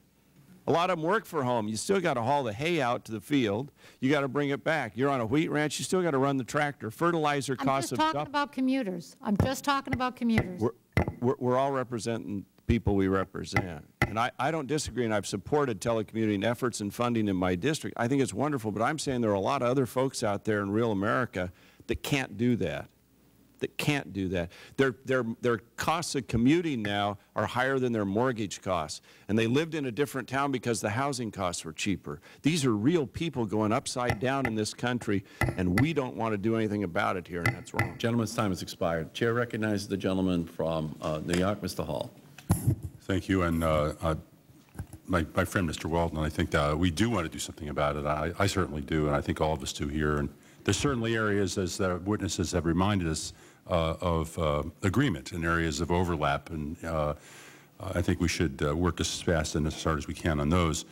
Um, so uh, the EIA has run a lot of assessments about oil prices based on projected supply and demand along a base uh, case. And I'd just like to ask Mr. Caruso, uh, has EIA run any estimates incorporating an assumption that America's auto fleet will be significantly more efficient by 2030? We have in the um, latest outlook incorporated the, the new laws, so we have about a 40 percent increase in miles uh, per gallon in, in this uh, 2008 outlook. Uh, and we haven't uh, specifically run a scenario where we took a, a much lar larger increase, but we have done uh, improved technology cases which try to simulate that. So there, there are about 30 different cases in, in our long-term outlook that try to simulate different policy changes uh, and economic conditions. You know, oh, thank you very much. That's good. And I, I, I've noticed that every state that's had, for instance, a renewable energy standard, including Texas, where our president signed one uh, for 10 percent RES when, uh, as President of the United States, uh, as governor, I should say, governor of Texas, he signed one. As president, he's been unwilling to sign one for the whole country. But the state of Texas exceeded their 10 percent and has uh, eclipsed California now as the largest uh, installed wind capacity state in the country. Uh, so there is some evidence that when you put a goal out there, Americans exceed it, uh, be it with electricity or with uh, transportation uh, fuels or vehicles. Um, indeed, uh, the Chevy Volt I was just reading, which will be coming out next year or the year after that, will basically have a, it's an electric car that will have a internal combustion engine for the purpose only of charging the batteries, the lithium-ion battery bank, uh, which will drive the vehicle. And they say on long-distance travel, uh, it's a commuter vehicle uh, which will run on electric for commuter distances 100 miles or less. On intercity or long-distance travel, it will average 150 miles per gallon. Uh, based on technology they have that they're bringing to market in the next couple of years. Toyota just announced, I think yesterday or the day before, a car that they are planning to release that will get 500 miles to the gallon. So I think we're going to see an exponential growth in efficiency as well as in uh, uh, substitute uh, power for transportation, which is a good thing because we need the liquid fuels for air tra travel for uh, considerably longer time, I think, as we figure out how else we might be able to fly. Um, if the overall uh, market uh, was made up, say, 50 percent hybrids, can you theorize what that might do to consumption? Uh, not off the top of my head. I know our base case has 45 um, percent new car sales of alternatively fueled vehicles in 2030. But that is a ramp up. Right. So it takes a long time, as you point, as you alluded. People wear out their cars, and it takes a while before they buy a But car. certainly that calculation could be made if you would, I could supply that for the record.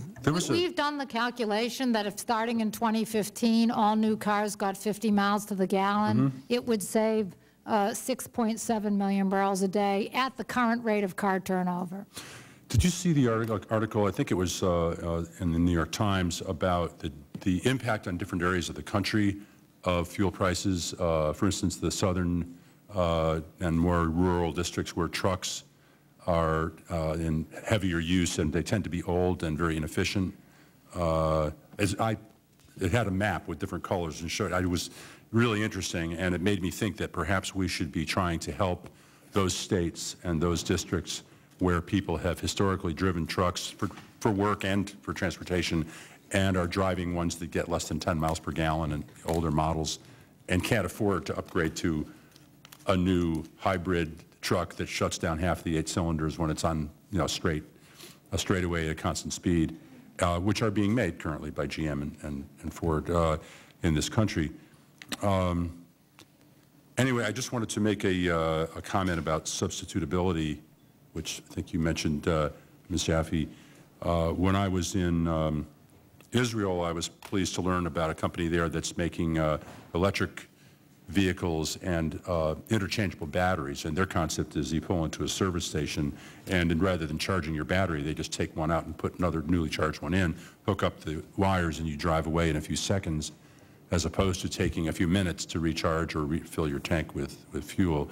And uh, uh, wondering if anybody's considered this sort of things, at least in commuter areas of the United States.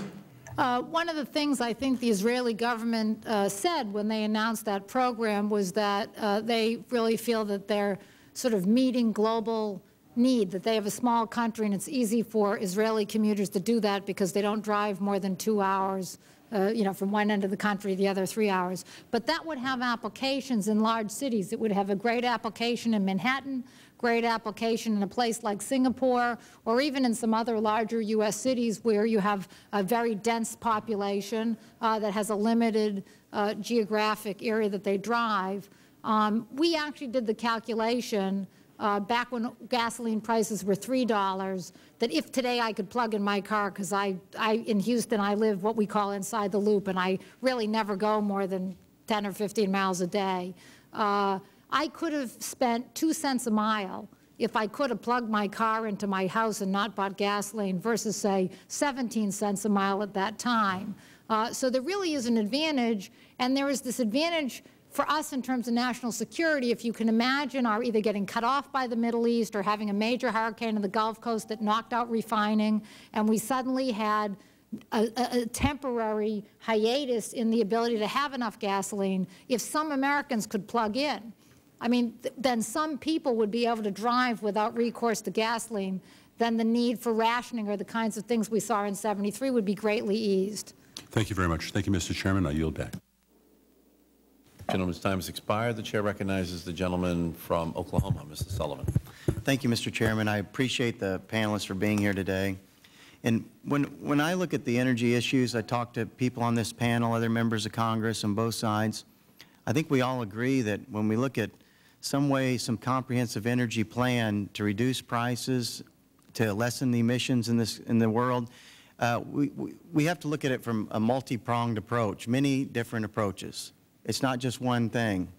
And, you know, one, one of the things we, we need to lessen our dependence on foreign oil. We need to maybe use less oil and gas. That's true. We need to look at alternative energy sources, wind, solar, nuclear. All those things are very, very important. I think a lot of people, Ms. Harbert even talked about that.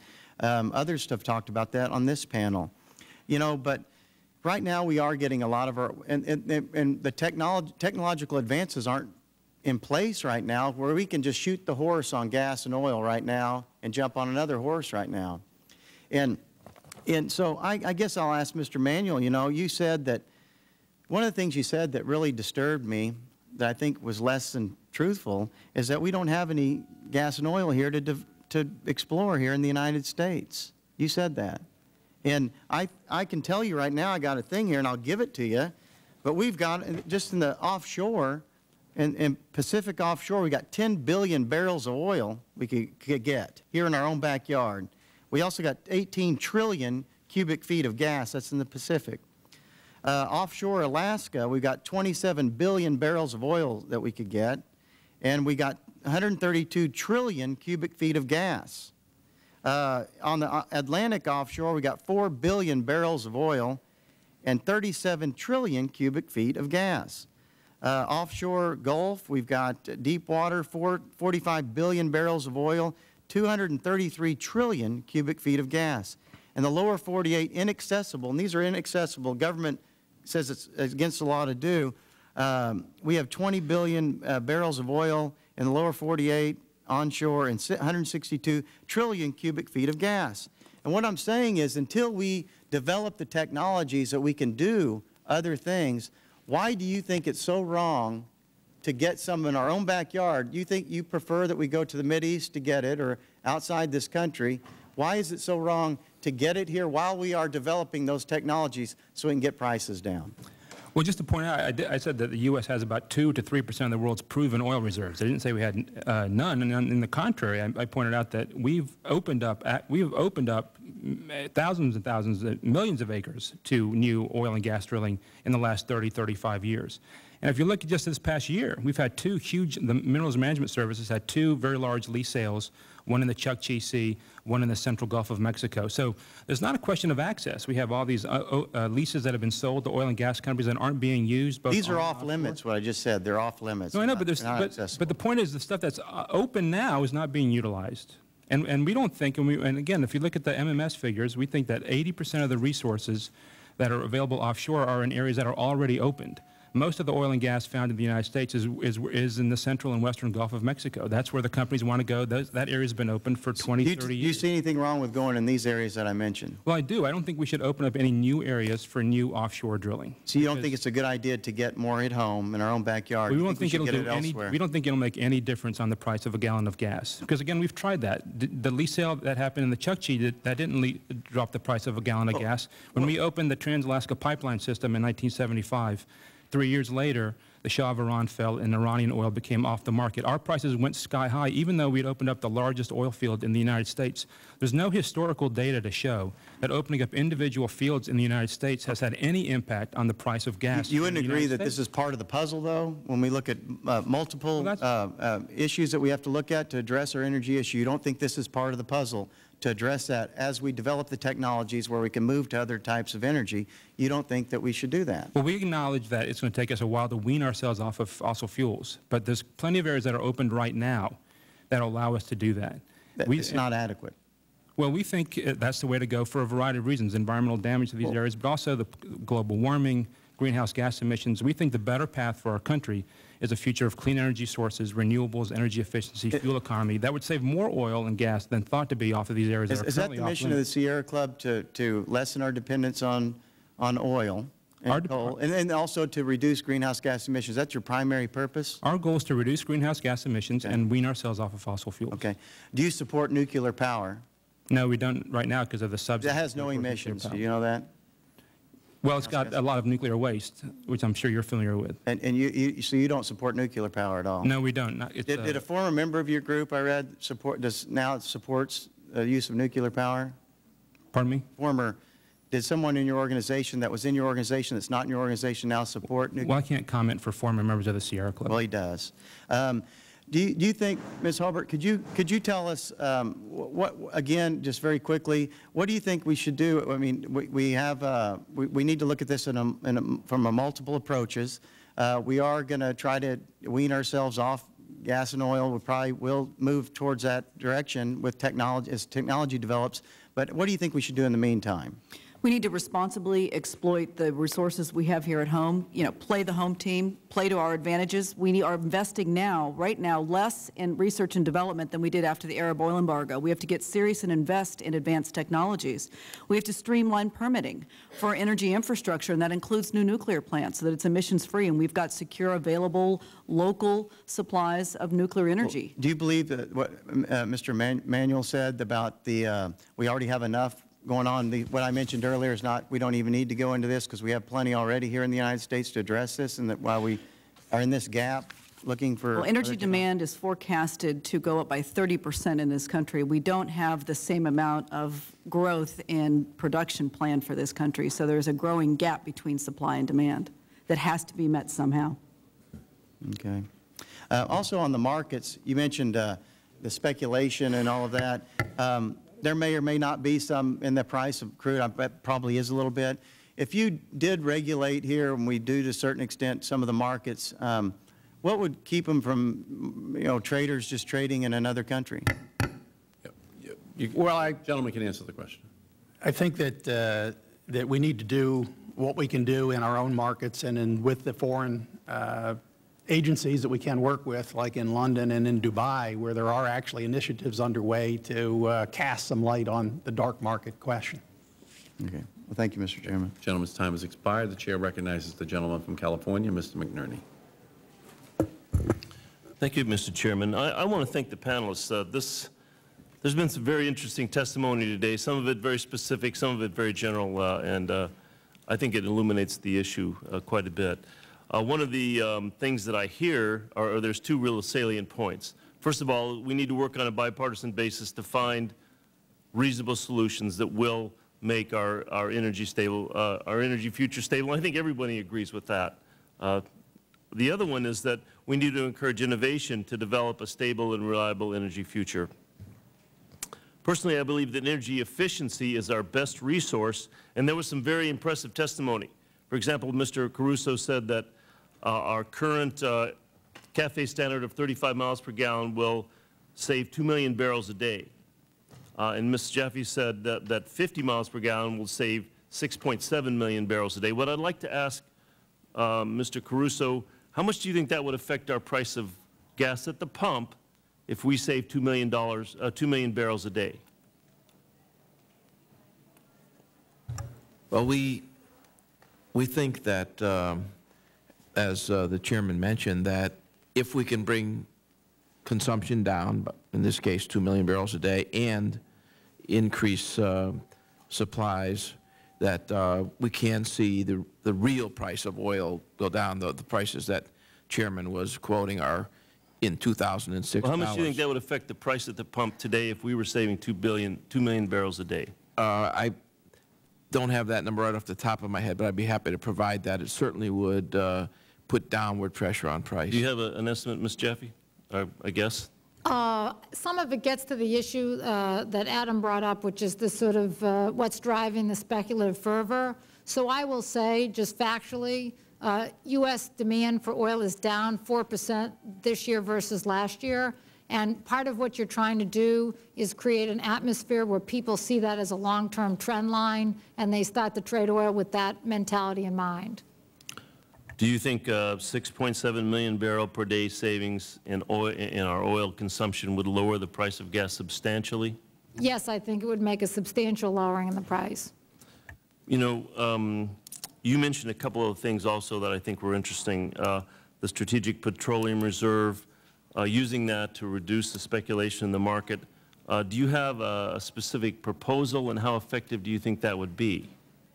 Well, um, uh, let me give you a specific example. There was a period of time, and I can't remember what the risk factor was in the market, but uh, when uh, uh Secretary Richardson did a quote-unquote test sale uh, of the SPR, and, um, and the effect it had at the time, because prices were sort of creeping above $40 a barrel, and it, it spooked people in the market briefly, uh, and prices went back down into the 30s, what happened then is every time the price would subsequently get to $39 or something like that, people would automatically naturally assume that the SPR might be released again, and so they would take their profits at a certain number.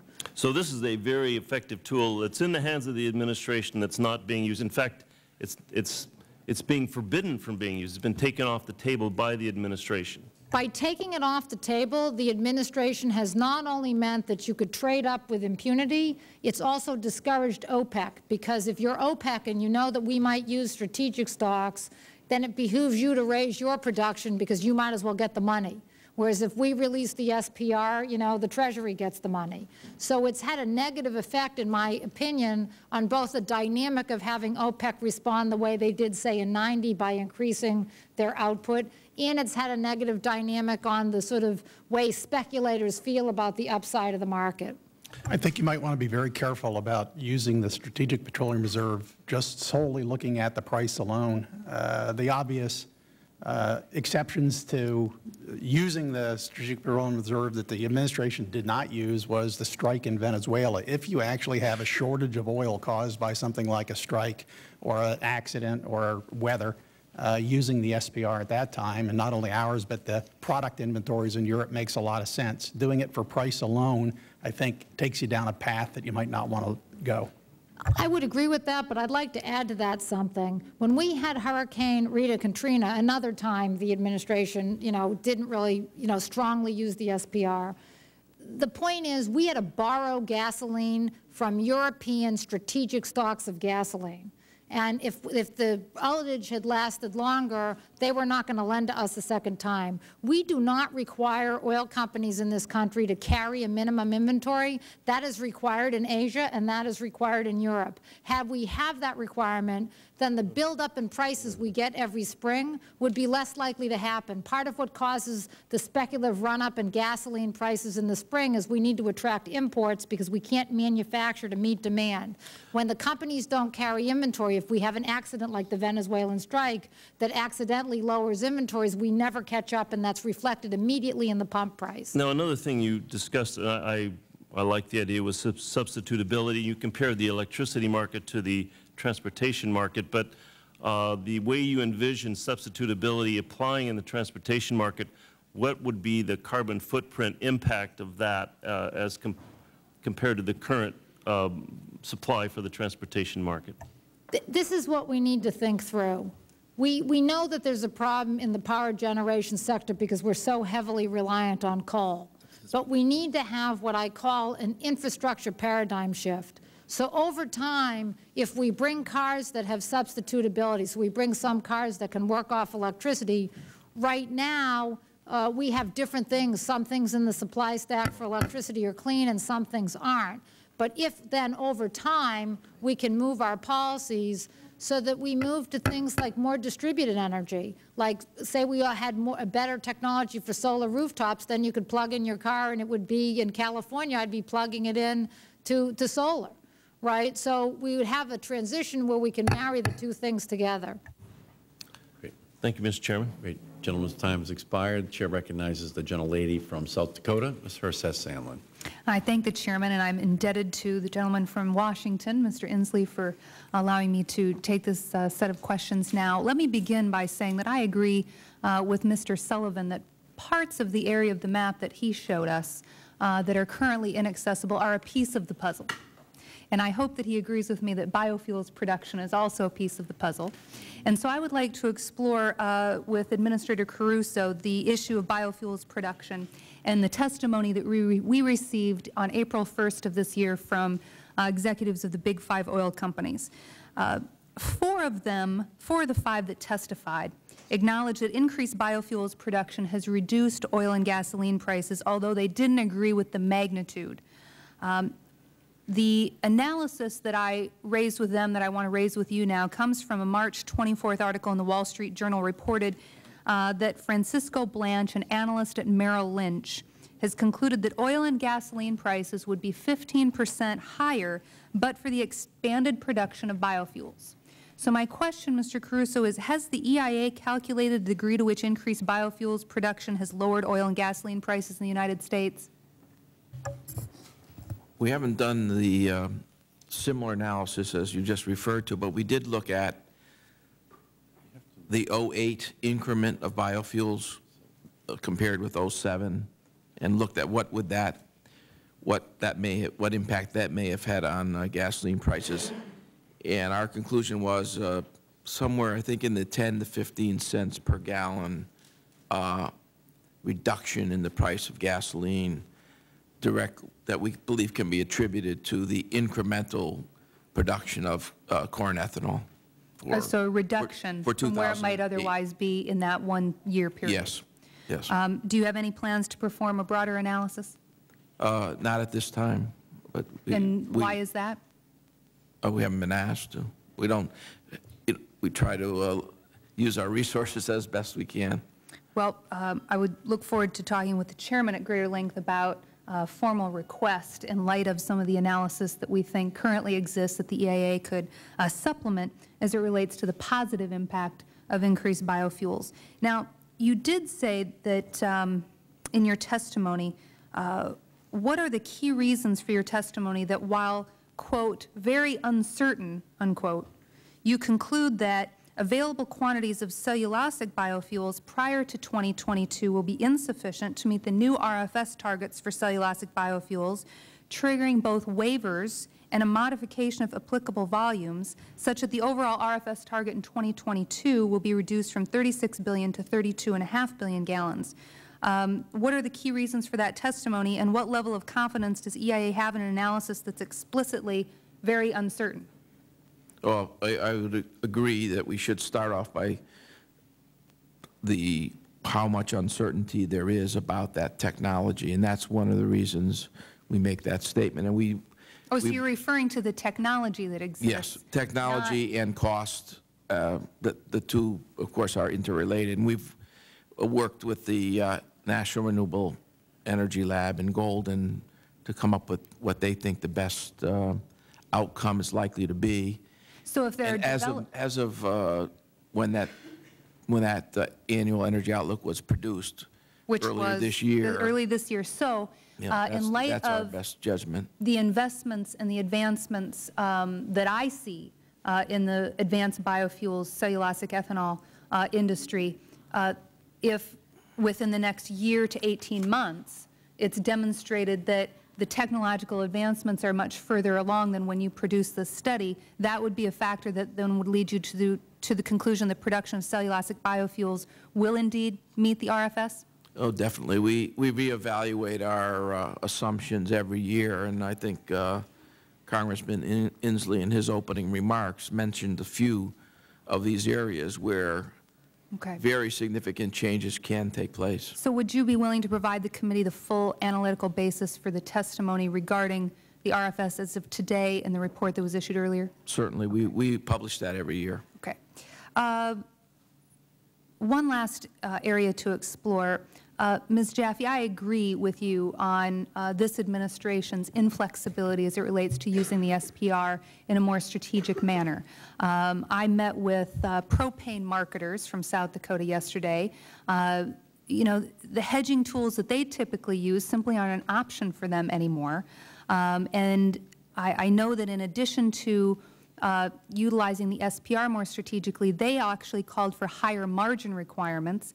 And some of the other commodity uh, folks that I represent, farmers, ranchers, grain elevators, they actually have uh, proposed um, the idea of making the traders take a take delivery of a percentage of the commodity that, the, that they're trading. Could you comment on either of those options? Yeah, I think that it's important to have financial clearing for the futures market for oil. I mean, the whole purpose of having a, futures market for oil is to have a smooth and transparent way uh, that buyers and sellers can meet and have transparent and open pricing. Uh, in 70, 1979, you had to know Marc Rich to be able to figure out if you could or couldn't get oil on the spot market and what price he was selling it at. We don't want to go back to that. So, uh, so speculators do play a, a constructive role. Uh, uh, academics have done studies that show that having a functioning futures market actually lowers volatility, not the other way around. But uh, within that spectrum, um, we're in a very unusual market today where people's perceptions about the dollar, uh, the rising price of oil has become sort of a circular self-fulfilling motion, uh, where we're getting to the point where the dangers of, of, of an overinflated bubble in, in these uh, facilities are a much larger danger to the average American than a normal market. Uh, and so under those situations, uh, it is important to have our regulatory bodies looking at it. Uh, and if it's just a mania, right, which, you know, we've had in other markets, it's just a mania. People just believe it's going to go higher, so it does go higher. Uh, we still want to think about things we can do to slow that down. And one option is to tighten the amount of, of contracts you can buy on margin. Great. Gentlelady's time has expired. The chair recognizes the gentleman from Washington State, Mr. Inslee. Thank you. Listening to the panel, I think there are very uh, there are two truths I'd like to talk about. One short term and one long term to help our people who are taking it in the chops with four dollar a gal gallon gas. First, on the short term, it's clear that we've seen this movie before. It was the Enron debacle, and we lived through it with 1,000 percent price hikes in 30 days with electricity because the market was broken. And it is clear that the market is broken now. And you know, you have you just listen to some unlikely sources. A quote from um, uh, Iyad Madani, Saudi Arabia's info, uh, info and cultural minister, says, quote, there's no justification for the current rise in prices.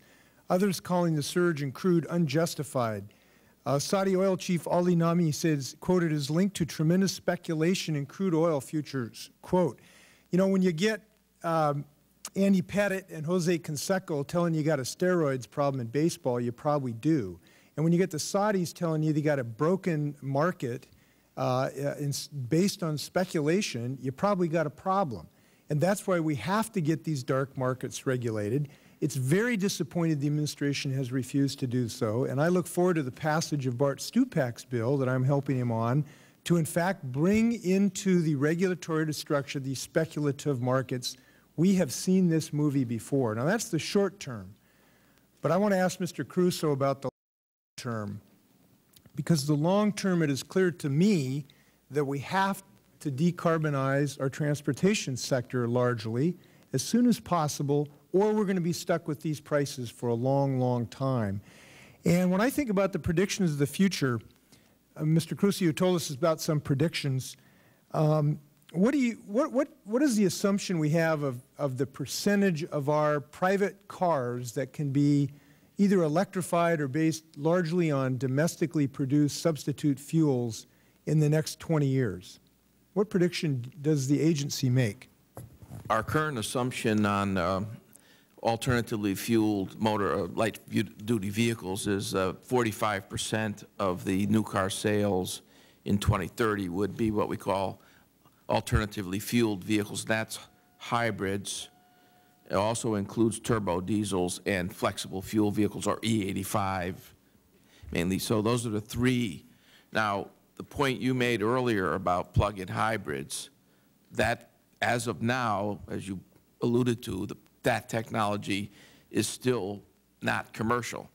Let me, let me suggest So that was, that we have very few plug-in hybrids in that outlook. I think that prediction can be hugely expanded if Congress will act.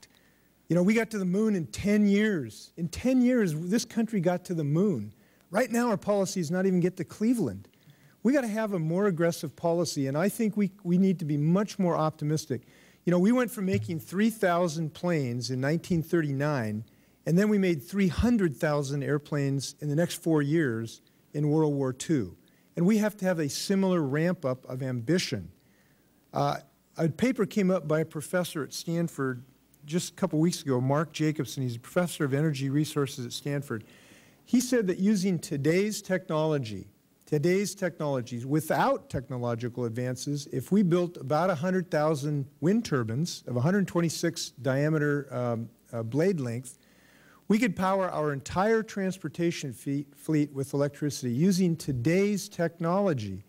Now, the reason I point this out is, you know, 100,000 wind turbines sounds like a lot, right? But in four years, we built 300,000 airplanes because we had to do it. And I think that all of us need to raise the level of our ambition from that 45 percent to a much higher number much more quickly. And I believe the technology is there to do it. By 2011, we're going to have plug-in hybrid cars mass-produced in the United States, something no one would have predicted five years ago. The lithium-ion batteries are making huge strides forward. We have potential commercialization of something that can be 50 times more productive than corn-based ethanol with algae-based gasoline and even biodiesel taking place. And I just point out that I just believe that the only way to tell Americans that their prices are going to come down long term is that if all of us become much more ambitious, ambitious on this technology. There are, I know we can do it. We did it in space. We did it in World War II. We got to raise our eye, eyes. You have any, any comments on Mr. Caruso? Go ahead. Yeah, I just wanted to say that I think that it's clear. I, I think almost everyone agrees on the the solution lies with improved technology and innovation and dedication to it. Right. And that includes R&D spending. Right. And the problem is we're not doing it. We spend one-third as much in R&D in the entire national federal government as Microsoft does in research. Our energy budget in R&D is one-third Microsoft's, one company's budget for R&D. We have no cap-and-trade system to create a demand, and unfortunately the President Bush has been against it. We have no renewable portfolio standard. We have no feed-in tariff. We have no building standards. Congress and the next President of the United States has to, and I believe will, set us on the course for a clean energy revolution. And uh, I'm looking forward to that on January 20th, 2009, starting that. Thank you. Gentleman's time has expired. The Chair recognizes the gentleman from Missouri, Mr. Cleaver. Thank you, Mr. Chairman. Uh, do any of you know where we got this, this these new contraptions, the, the cell phone, what, what, what created this? Uh-huh, good. Um, I'll tell you. Star Wars. And uh, way before, most of you are too young uh, to, to uh, remember Star Trek, but, but you know, the captain would, would always flip out his phone. Anyway, that gave, uh, that gave uh, engineers the opportunity to do this. So Star Trek, okay, Mr. Spock. I'm obsessed with, um, with um, horror movies and um, probably because the, the monsters are rarely after black people, but uh, I, you know, I watch this stuff and try not to, and try not to become paranoid um, or join any cults. Uh, but uh, I, what I'm wondering from all of you, and I just have one question, uh, we, we had this crisis occur uh, first during my lifetime in 1973, or, or, or close. That, uh, that was generated, I think, historians will say was generated by OPEC. Okay? Okay. And then we had another in 1979, um, Ayatollah Khomeini uh, in Iran. Um, and here we are again in 2008. Uh, the, the difference may be that in the first, during the first two, it, it was not, I mean, we, we really had not hit the oil peak. There are some who believe that uh, the movie that, that I just saw about three weeks ago, uh, when the world ran out of gas, uh, and, and it showed the cataclysmic impact of what happened, food crises, people standing in line. I mean, you've seen these, these, uh, uh, these futuristic movies, I mean, begging. Well, that's happening all over the world right now. In Ethiopia, in particular, people are dying, not to mention what's going on in the Sudan. But people are, the food prices are, are, have caused a worldwide panic. You know, all this is depicted in a movie. Uh, but we know that oil is finite. And, and there are some, including some big names in the oil industry, uh, who believe that, that we hit an oil peak and that we're actually uh, having a crisis that, that is not like the first two, that this one won't go away. This is going to be a problem until we, un, until we deplete the, the, um, uh, the, the supply of fossil fuel deposited in the earth. Um, is that is that science fiction, or uh, have we again hit reality through the science fiction? We we don't even have to go there because we know we have global warming, and we know we have to take carbon out of our fuel system, and because we know that, it makes it different anyway, right?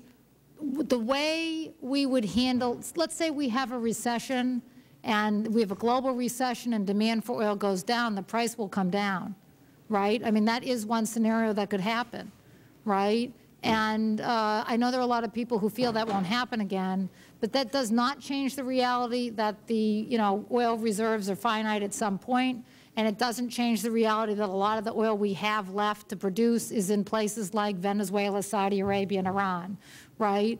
But the bottom line is we know that we want to decarbonize our economy over time. We know that. And since we know that, uh, a lot of the same solutions, energy efficiency, right, um, um, uh, uh, alternative energy, R&D, some of those solutions are the same, so it really doesn't matter whether uh, 73, it's exactly the same or it's not exactly the same. The reason that it's different is we know we have to do something for a variety of reasons, not just national security, but even environmental reasons. We know we have to do something different, and we know that the lead time on scale-up is decades, not months. And so that's why we have to start now. Mr. Cleaver, you're absolutely right. We have seen this movie before. We saw it in 1973, 74, and again in 1978 or 79 and 80. Uh, the kinds of solutions that I think that, that made it work out the last time were encouraging energy efficiency across all the sectors, encouraging fuel diversity, uh, encouraging trade and investment, R&D, and, and especially what we need to do this time, I think, is enhance our science and engineering capabilities so that the technology will come out to take care of some of these problems. I really don't think it's speculators that are driving up the oil price. I think it's an actual fear of uh, shortfalls in the coming years, and we need to take steps now to turn that psychology around. I think we can. This, this is not a horror movie with a bad ending. It's got a good ending. We just need to move along. Anyone else? Well, I agree generally that we, we need to uh, do as my, my colleagues have just said, that we need to innovate our way out of this. We need to start transitioning away from fossil fuels so that it's not a horror movie, that um, that, that it's, and, and, the technology is available now. Mr. Inslee was talking about some of these things, uh, windmills, fuel-efficient cars, plug-in hybrids, all that stuff is available now. We just have to aggressively move towards and start that transition. I know my time is running out. I, I, I, apologize for being late. I, am on the financial services. We're holding a hearing today on whether or not Congress should uh, enact legislation that would require HUD to uh, construct um, energy-efficient public housing units uh, and we're in a battle because somebody, uh, uh, some some folk don't don't think that's the direction we ought to go, and it's just amazing I, that if somebody took footage of our hearing, they could use it in a futuristic movie. Uh, using, I mean, listening to all the people give reasons why we shouldn't do this, and so my my uh, concern is is actually uh, heightened by the the fact that people are not taking this seriously, and you know, th this administration is just acting as if, you know, there's, there's, uh, uh, all we need is an oil change. I'll agree with your analogy. Gentleman's time has, gentleman's time has expired. Um, gentleman from uh, Oklahoma, seek recognition. Uh, thank you, Mr. Chairman. And I'd like to ask that uh, testimony submitted by uh, Carl Michael Smith, Executive Director of the Interstate Oil and Gas Compact, be uh, entered into the record. It would, that, that uh, uh, Ask unanimous that, consent. Without objection, that document will be included at the appropriate place in the thank record. You. Thank you, Mr. Chairman. Great. Um, so um, all time for questions uh, by the Select Committee has been completed. So now we're going to turn to the panel. We're going to ask each one of you to give us your best one minute to tell us what you think we should know at this time in the history of the United States relationship uh, with oil and other uh, energy uh, sources. Uh, and we're going to go in reverse order of our original uh, testimony. So we'll begin with you, Ms. Harbert. Your best one minute, if you would. Congratulations on this hearing. We need more deliberate discussions on this very complex issue. It's important to recognize there's no single solution, there's no short-term fix, there's no panacea. So we, in partnership with the American people, have to address this in a very comprehensive way, in a very urgent manner. We need short-term, medium-term, and long-term view on this.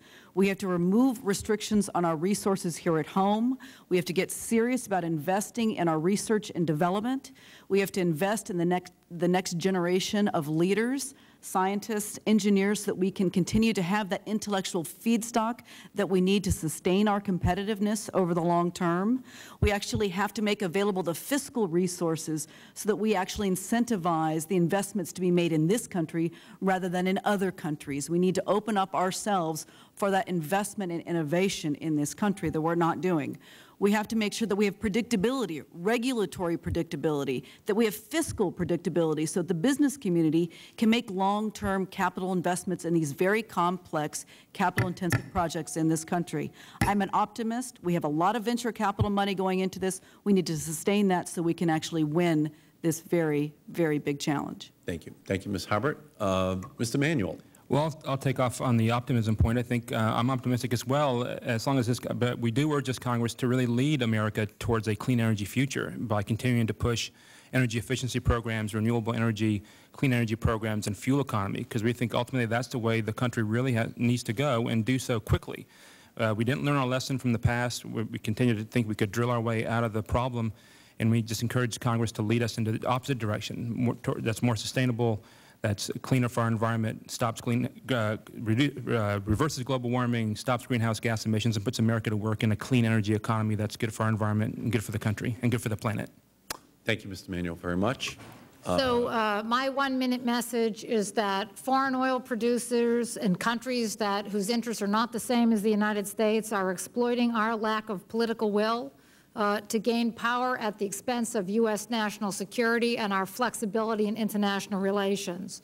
Uh, we, there are many short-term things we can do. The Senate has addressed some of those things, but when push comes to shove, given the challenges that are facing us both in energy and climate, uh, we need a serious research and development program in this country, both in private industry and in government. Uh, we need to not only think about how we tax corporations to get them to spend more on R&D, we need to be thinking about how we raise public funds to spend more on R&D. And let me just end with an optimistic note. I work with 81 nanotechnologists they're working on solar energy. They're working on better transmission systems. They're working on uh, wind power, all kinds of very interesting technologies that, that I, I agree. Had we said we were going to the moon, but only put in $100 million to spend to do that, we would never have got there. And so we need to think about how we're going to come up with the money to do the kind of R&D we need. We have the people and we have the will. Uh, thank, I, we thank you very much, and we know you're from Rice University in Houston, and in the same way that uh, we once used to say, Houston, we have a problem, uh, uh, and that was the space program. I think we can say the same thing now about our energy program. We thank you for being here. Mr. Uh, Mr. Sieminski. Thank you.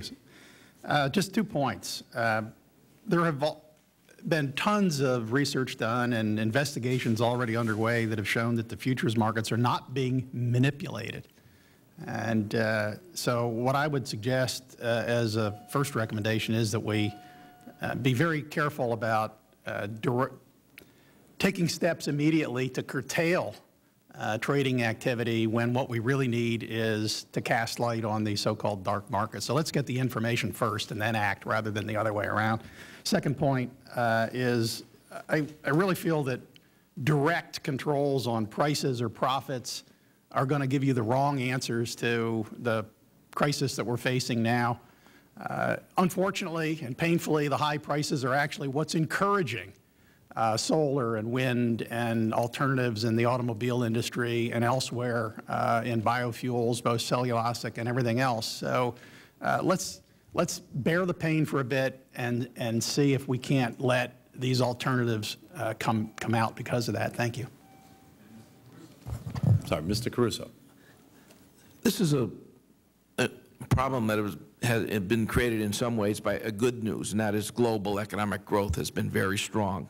We need to sustain that growth by meeting these needs through using energy more efficiently, definitely, more economic, environmentally consciously, but also to develop all forms of energy resources. There's no single solution, as a number of our panelists have said. So we need to facilitate investment in all forms of energy and research development and innovation, as has been mentioned. And this is uh, not a short-term solution. We need to recognize this large-scale, long-term solution, and it's going to take time.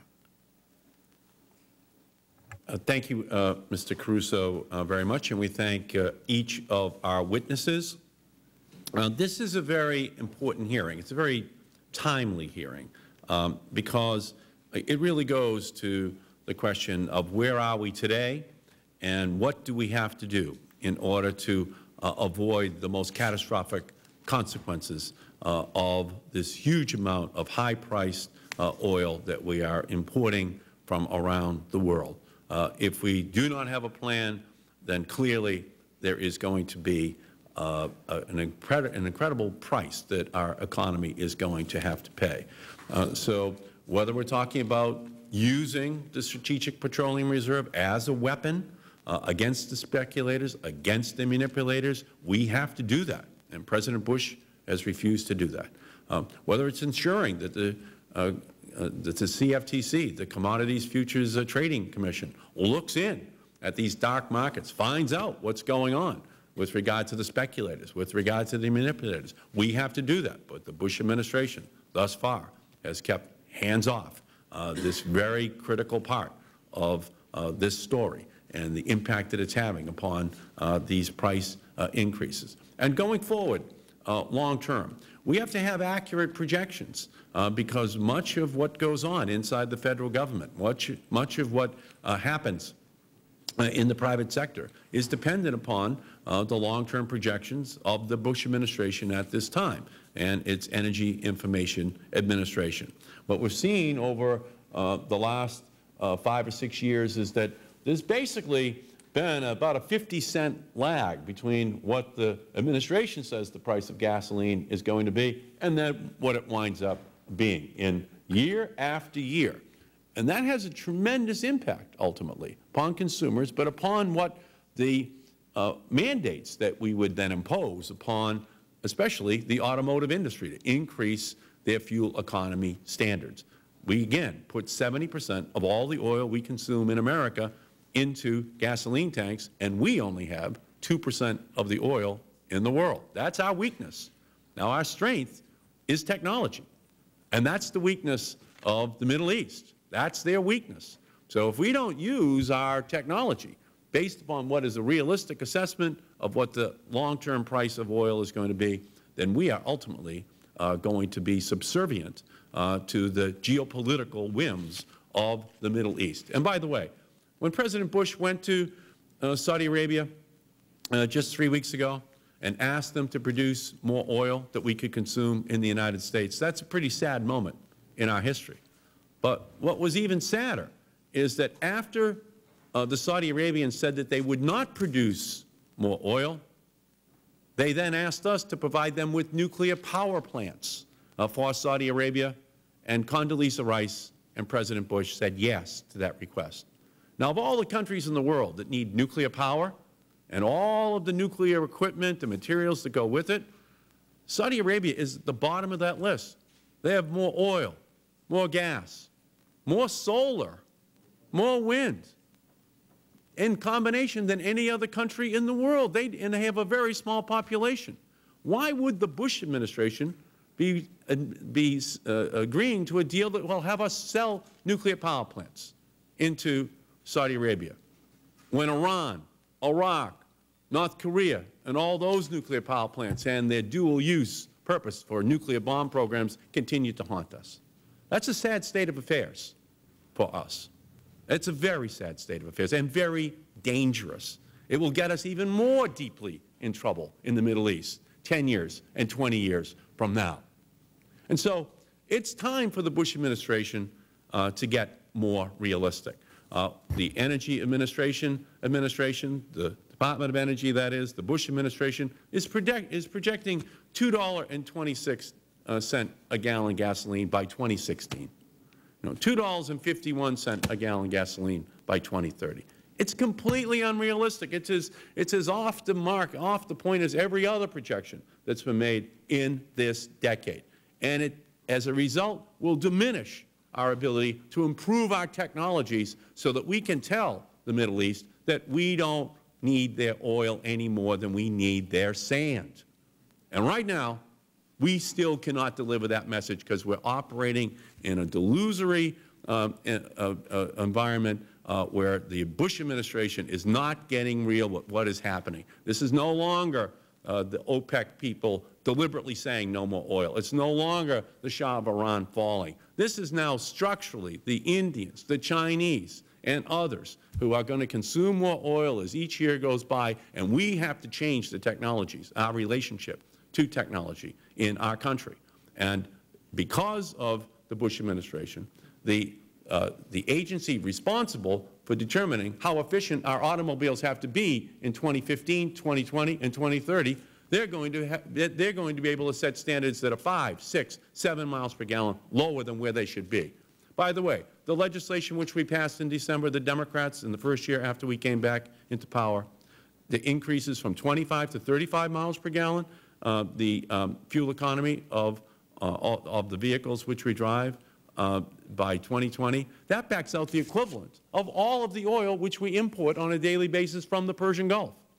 That's the difference a change in technology can make. But you've got to have realistic data because now the Bush administration's Department of Transportation is going to implement the standards that are put in place pursuant to that law which we passed in December. And so all of this is interrelated, no question about it. But when you're talking about oil, you're talking about transportation. You're talking, because that's where we put it. And this is, again, very central uh, to uh, the dilemma which we have. The Democrats came back in after being out for 12 years. It's the first thing we did. But the Bush administration had plenty of opportunity in their first six years to put those standards on the books. The Republican Congress had every opportunity to improve the fuel economy standards of our vehicles. They never did it. And so as we go forward, uh, we have to think of this as an opportunity to create a new generation of jobs, a new economy in our country. Green-collar jobs, yes, but they're really the blue-collar jobs uh, of the past, the blue-collar power, building the windmills, the solar, the new technologies uh, that will uh, slowly but surely wean us away from this incredible mess that the Middle East is now and is very likely uh, to become even worse in the years ahead. We thank all of you for your testimony uh, here today. Uh, it, it's very helpful to us because it's going to help us to begin to chart a course where we help the American consumer stop being tipped upside down at the gas pump and having money shaken out of their pockets every single time they refill. Thank you so, so much.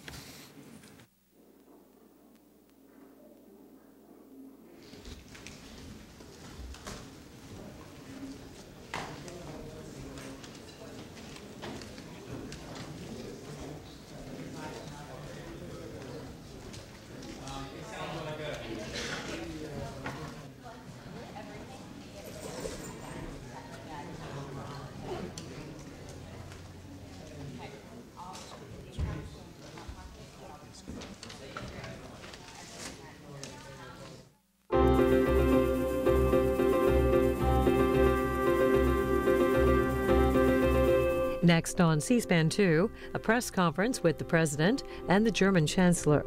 That's followed by Prime